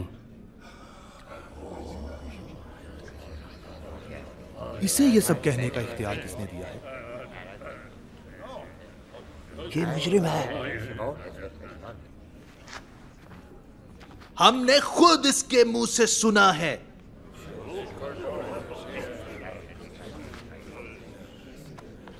इसे पिलातूस के पास ले चले। हाँ हाँ इसे पिला तो उसके पास ले चलो।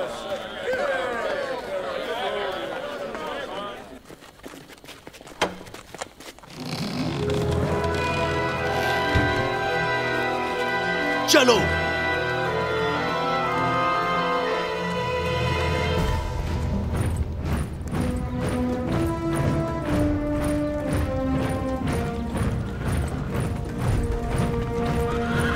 और वो अलमसी को पिलातूस के पास ले गए जो रूमी हुक्मरानों में सबसे ज़्यादा जालिम गवर्नर था। वो हज़ारों लोगों को सलीब पर कीलों से जड़ने की अजियतनाक मौत दे चुका था। इस वक्त सुबह सवेरे यहाँ क्या लेने आए हो? ये मुजरिम है और लोगों को वर्ग लाता है। इसने बैतुल मकदस के बाज़ार में भी हलचल मचा दी थी। इसकी सजा बताइए। इसे सलीब दो। क्यों सलीब दूँ? कोई ठोस वजह बताओ ठोस वजह। ये मुजरिम है। हमने इसे कहते सुना है कि कैसर को महसूल मत दो। ये मसीह होने का दावा करता है और बादशाह का भी। बादशाह? क्या तुम यहूदियों के बादशाह हो? तुम खुद ये कह रहे हो। ये जलील से तबलीग करता करता यहाँ भी आ गया है। जलील से? क्या ये सूबा जलील से है? यही बात है तो हैरोदीस फैसला करेगा। वो आजकल यरूशलीम में ही है। ले जाओ इसे वहीं।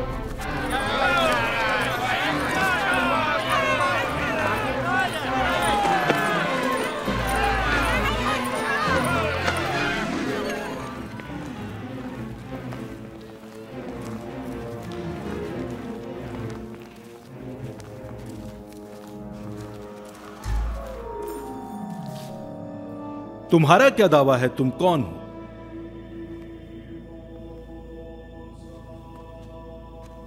वो कौन लोग हैं जिन्हें तुम शागिर्द कहते हो?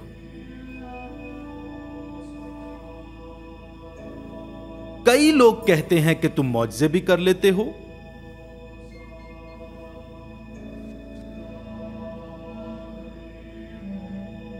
मेरे लिए कोई मुआवजा करो। बादशाह सलामत। ये लोगों को खराब कर रहा है। और ये खुद को कहता है, बादशाह, ये और बादशाह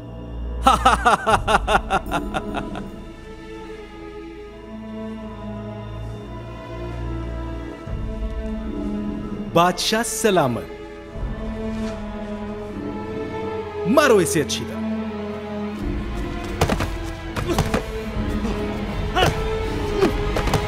इसे पिलातूस उसके पास भेज दो। ये उसका सूबा है।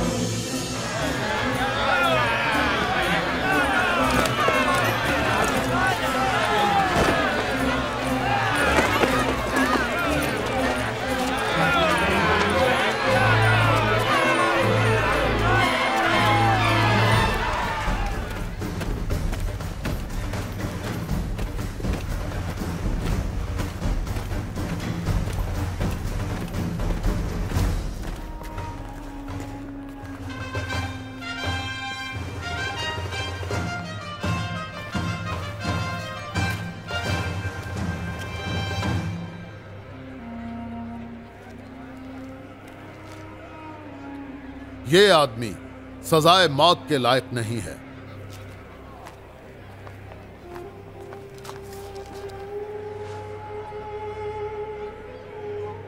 कहो तो मैं इसे कोढ़े लगवाकर छोड़ देता हूँ। हुजूर आप हर ईद पर हमारी कौम का एक कैदी आज़ाद किया करते हैं। इस साल बराबा को छोड़ दें। हाँ। और इससे अपनी जान छुड़ाए।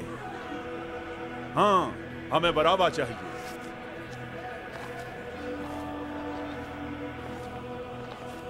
इसे मसलूब करो। हाँ इसे मसलूब करो। तुम और सुनो तुम इसे तोड़े मारो।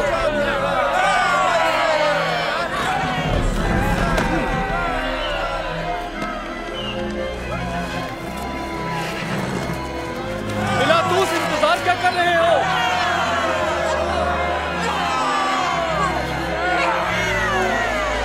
ये ईसा मसीह है।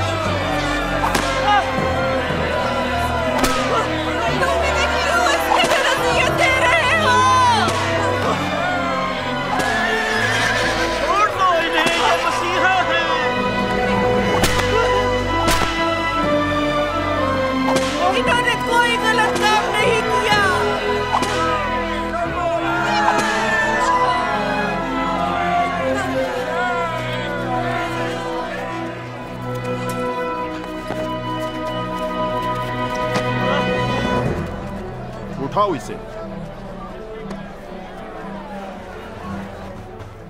वो चिल्ला चिल्ला कर कहते रहे कि ईसा को मसलूब किया जाए।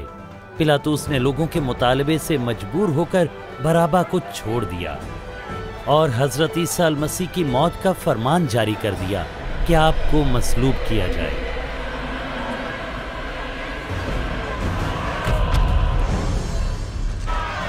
पीछे पीछे हटो। पीछे हटो। तुम पीछे हटो। पीछे हटो। दूर रहो इससे। पीछे हटो। हटो पीछे। पीछे। रास्ते से हटो। रास्ता दो। हट जाओ। तुम रास्ते से हटो। मैं चलने का कह रहा हूँ तो चलो। उठो पीछे हट जाओ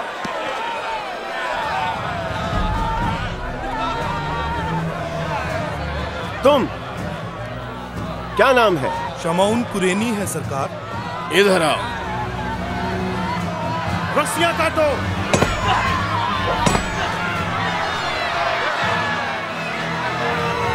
तुम ये शलीब उठाओ चलो आगे बढ़ो। पीछे पीछे छोड़ दो इसे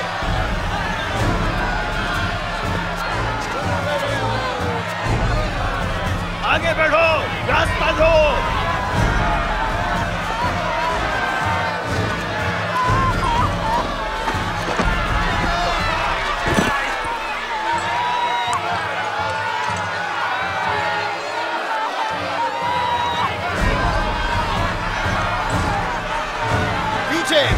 पीछे हटो।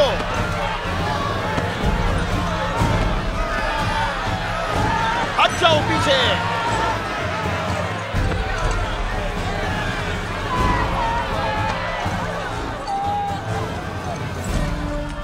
हम आपके लिए रो रही हैं मौला।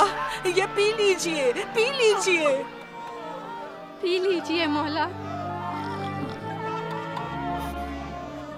ए यरूशलेम की खवातीन तुम मेरे लिए मत रो, बल्कि अपने और अपने बच्चों के लिए रो। क्योंकि अगर मुझ जैसे हरे दरख्त के साथ ऐसा हो सकता है तो फिर तुम्हारे साथ क्यों ना होगा? अल्लाह आपके साथ हो। हम आपके लिए दुआ करेंगे।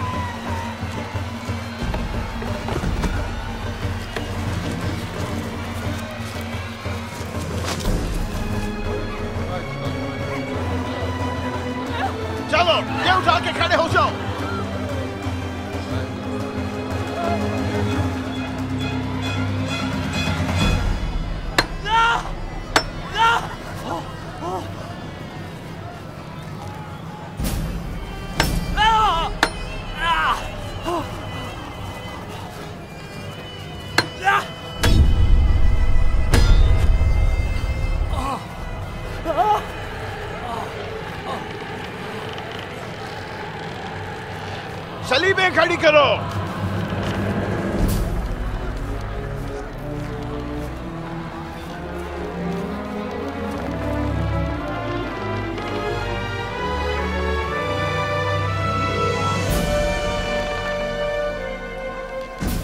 इन्हें ज़मीन में ठोक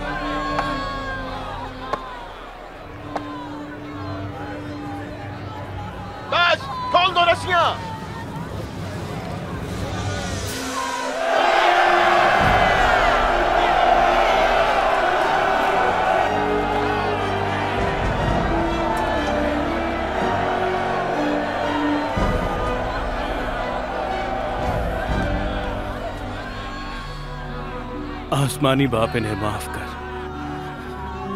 ये नहीं जानते कि क्या करते हैं।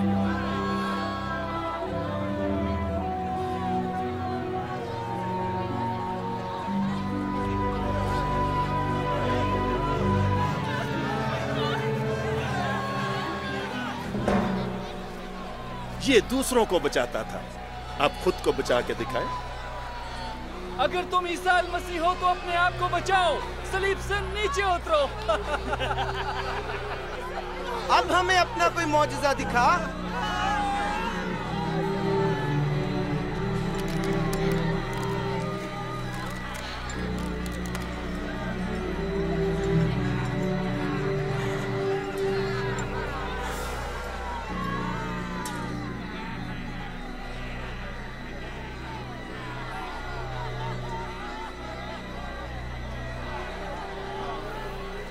हज़रत ईसा अल मसीह जब मसलूब हुए तो उनके दाएँ बाएँ दो डाकू भी मसलूब किए गए। और ये उस पेशगोई की तकमील थी जो एक नबी ने हज़ारों साल पहले की थी। भाई ये कोई आम लिबास नहीं है। नहीं नहीं खेचो नहीं खेचो नहीं फंस जाएगा। रुको मैं बताता हूँ क्या करना है। चलो पर्चियाँ डालते हैं। मेरे नाम की भी पर्ची डालो। नहीं नहीं ये मैं लेकर जाऊँगा। इसे पकड़ाओ मुझे दो। अरे वाह खुशकिस्मत यही करोगे इसका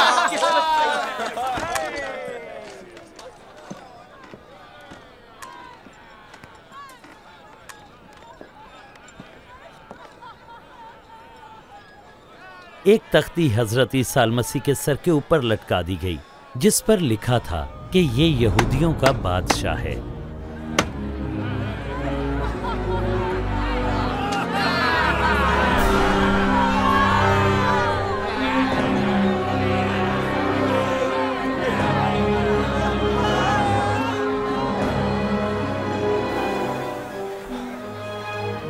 यहूदियों के बादशाह अब अपने आप को बचा।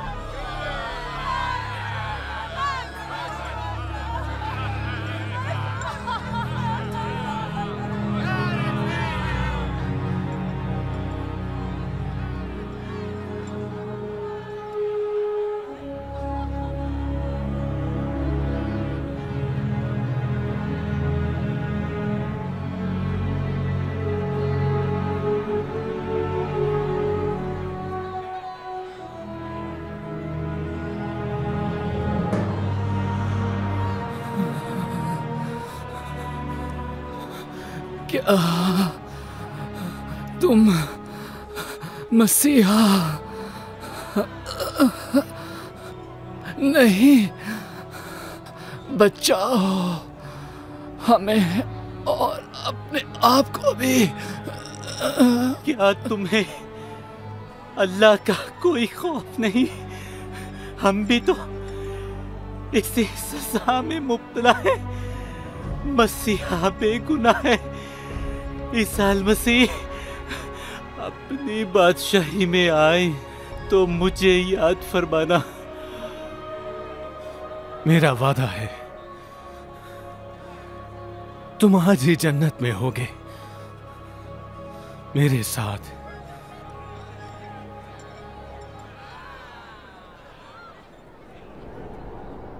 ये अगरचे दोपहर का वक्त था। लेकिन उस सारे इलाके में तकरीबन तीन बजे तक तारीखी छाई रही।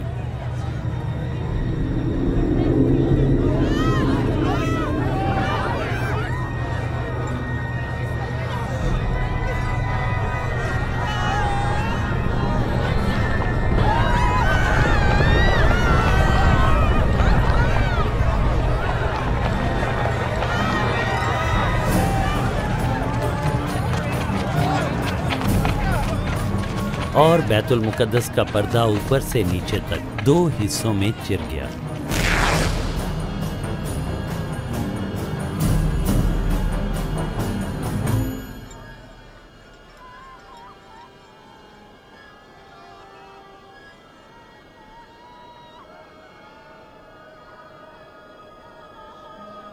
आसमानी बाप, मैं अपनी रूह तेरे हाथों में देता हूँ।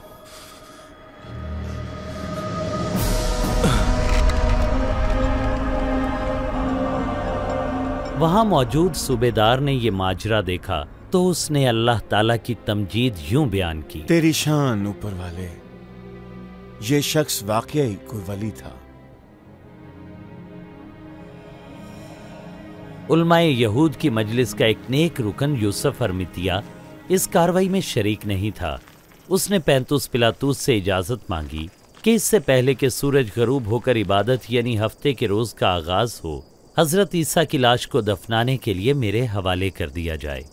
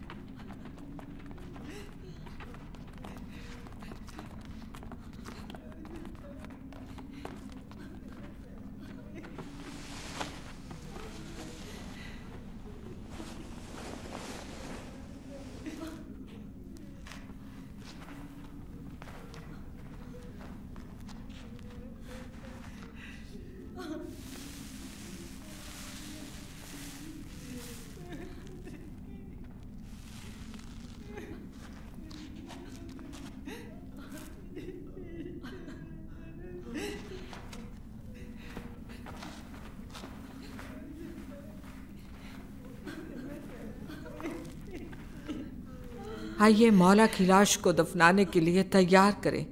मैं भी मदद करूँगा, लेकिन जल्दी करें। सबत का दिन शुरू होने को है। चलो, आ जाओ।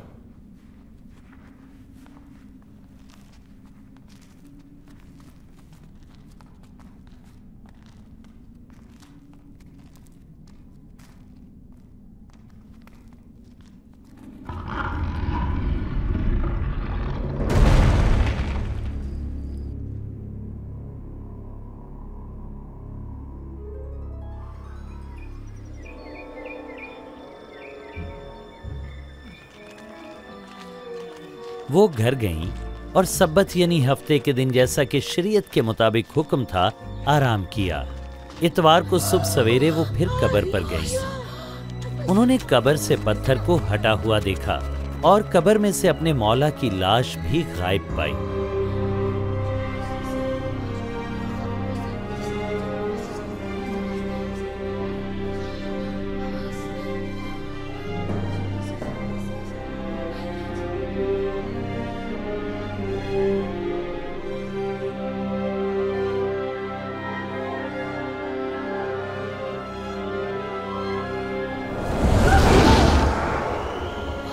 तुम ज़िंदा को मुर्दों में क्यों ढूंढती फिर रही हो?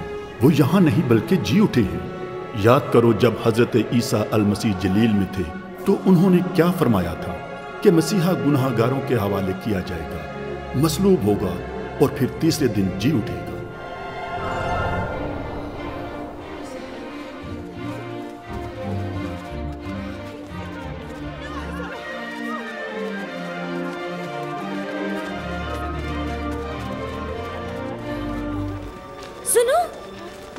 कब्र खुली हुई है।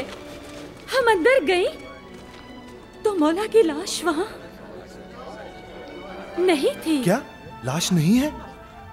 वहाँ दो मर्द ज़ाहिर हुए वो फरिश्ते थे।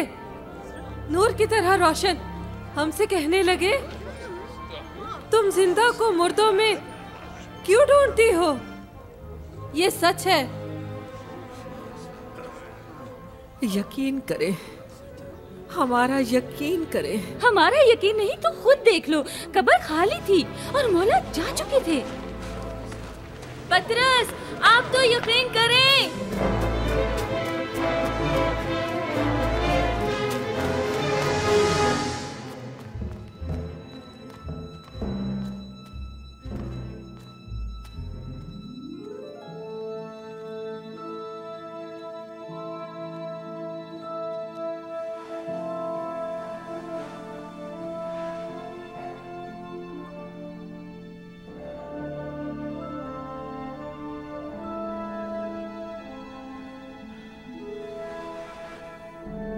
इसके बाद ईसा अल मसीह अपने दो और शागिर्दों पर ज़ाहिर हुए तो वो भी निहायत खुशी के साथ दूसरे शागिर्दों की तरफ़ भागे। यकीनन मौला जी उठे शमाउन ने भी देखा है।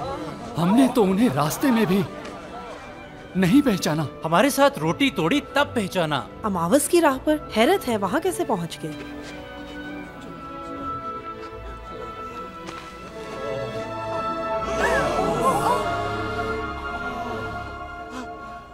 अस्सलामु अलैकुम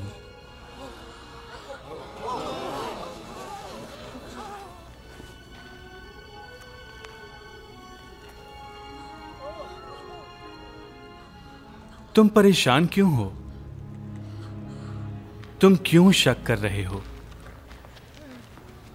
देखो, मेरे जख्मी हाथ और पाँव देखो। देखो, मैं मसीहा ही हूँ। छू कर देखो, यकीन हो जाएगा। रूह का गोश्त और हड्डियाँ नहीं होती, मेरी हैं। ये सब वही बातें हैं जो मैंने तुम्हारे साथ रहकर कही थी। मेरे बारे में जो कुछ भी तौरेत और जबूर शरीफ में लिखा है, उसे सच साबित होना ही था। और लिखा हुआ है कि मसीहा ज़रूर दुख उठाएगा और तीसरे दिन मुर्दों में से जी उठेगा। मसीहा के नाम से तौबा और गुनाहों की माफ़ी की तबलीग दुनिया की सब कौमों में होनी ज़रूरी है। आगाज़ यरूशलेम से होगा। तुम इन सब बातों के गवाह हो। मेरा आसमानी बाप वादे के मुताबिक रूहे पाक तुम पर भेजेगा।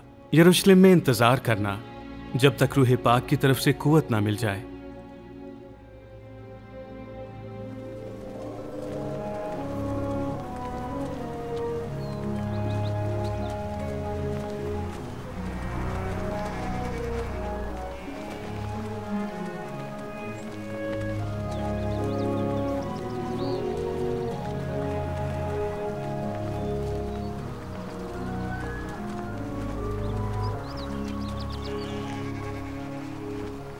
फ़ी अमानुल्लाह सलामत रहो।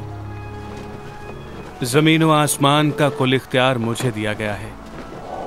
बस तुम जाओ और सारी कौमों में तबलीग करो और उन्हें बाप और बेटे और रूह पाक के नाम से इस्तेबाक दो और उनको ये तालीम दो कि जिन बातों का मैंने तुम्हें हुक्म दिया है, उन सब पर अमल करें।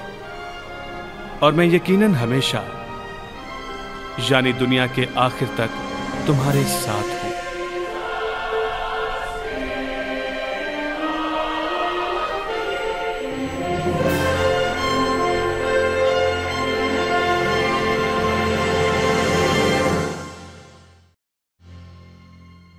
अंबिया कराम की मार्फत अल्लाह ताला ने फरमाया कि वो नस्ल आदम के गुनाहों की मुआफी के लिए एक मसीहा भेजेगा। अल मसीह की ज़िंदगी से ज़ाहिर होता है कि वो निजात दहिंदा आप हैं। जिसे अल्लाह ने दुनिया में भेजने का वादा किया था।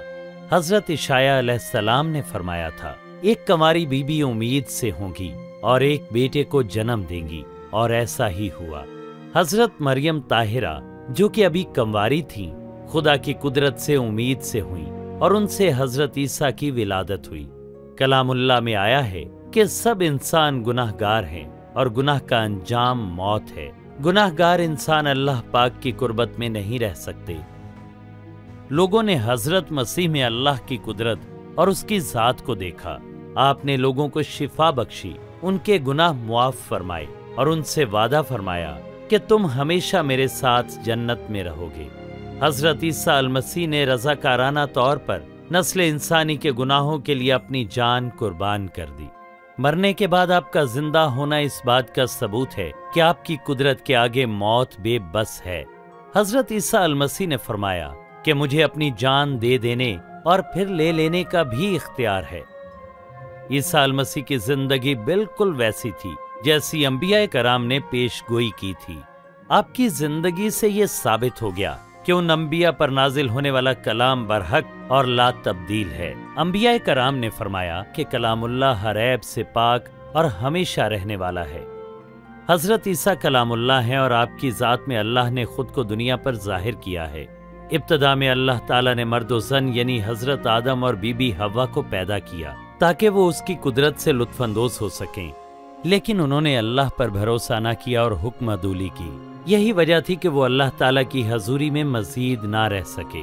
कलामुल्ला में आया है कि सब इंसान गुनाहगार हैं और गुनाह का अंजाम मौत है। गुनाहगार इंसान खुदा कदूस की कुर्बत में नहीं रह सकते। जिस तरह अल्लाह ने एक मेढा मुहैया किया कि इब्राहिम के बेटे की जगह कुर्बान हो, उसी तरह उसने हज़रत अल मसीह को इस दुनिया में भेजा कि नस्ल आदम की जगह कुर्बान हो।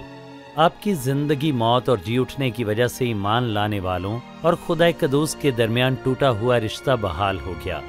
हज़रत पतरस ने फरमाया कि हज़रत ईसा अल मसीह वो वाहिद शख्सियत हैं जिनके मुतालिक सब अंबिया ने फरमाया, हर ईमान लाने वाला गुनाहों से मुआफ़ी पाएगा। हज़रत ईसा पर ईमान लाने वाले हमेशा अल्लाह ताला की कुर्बत में रहेंगे।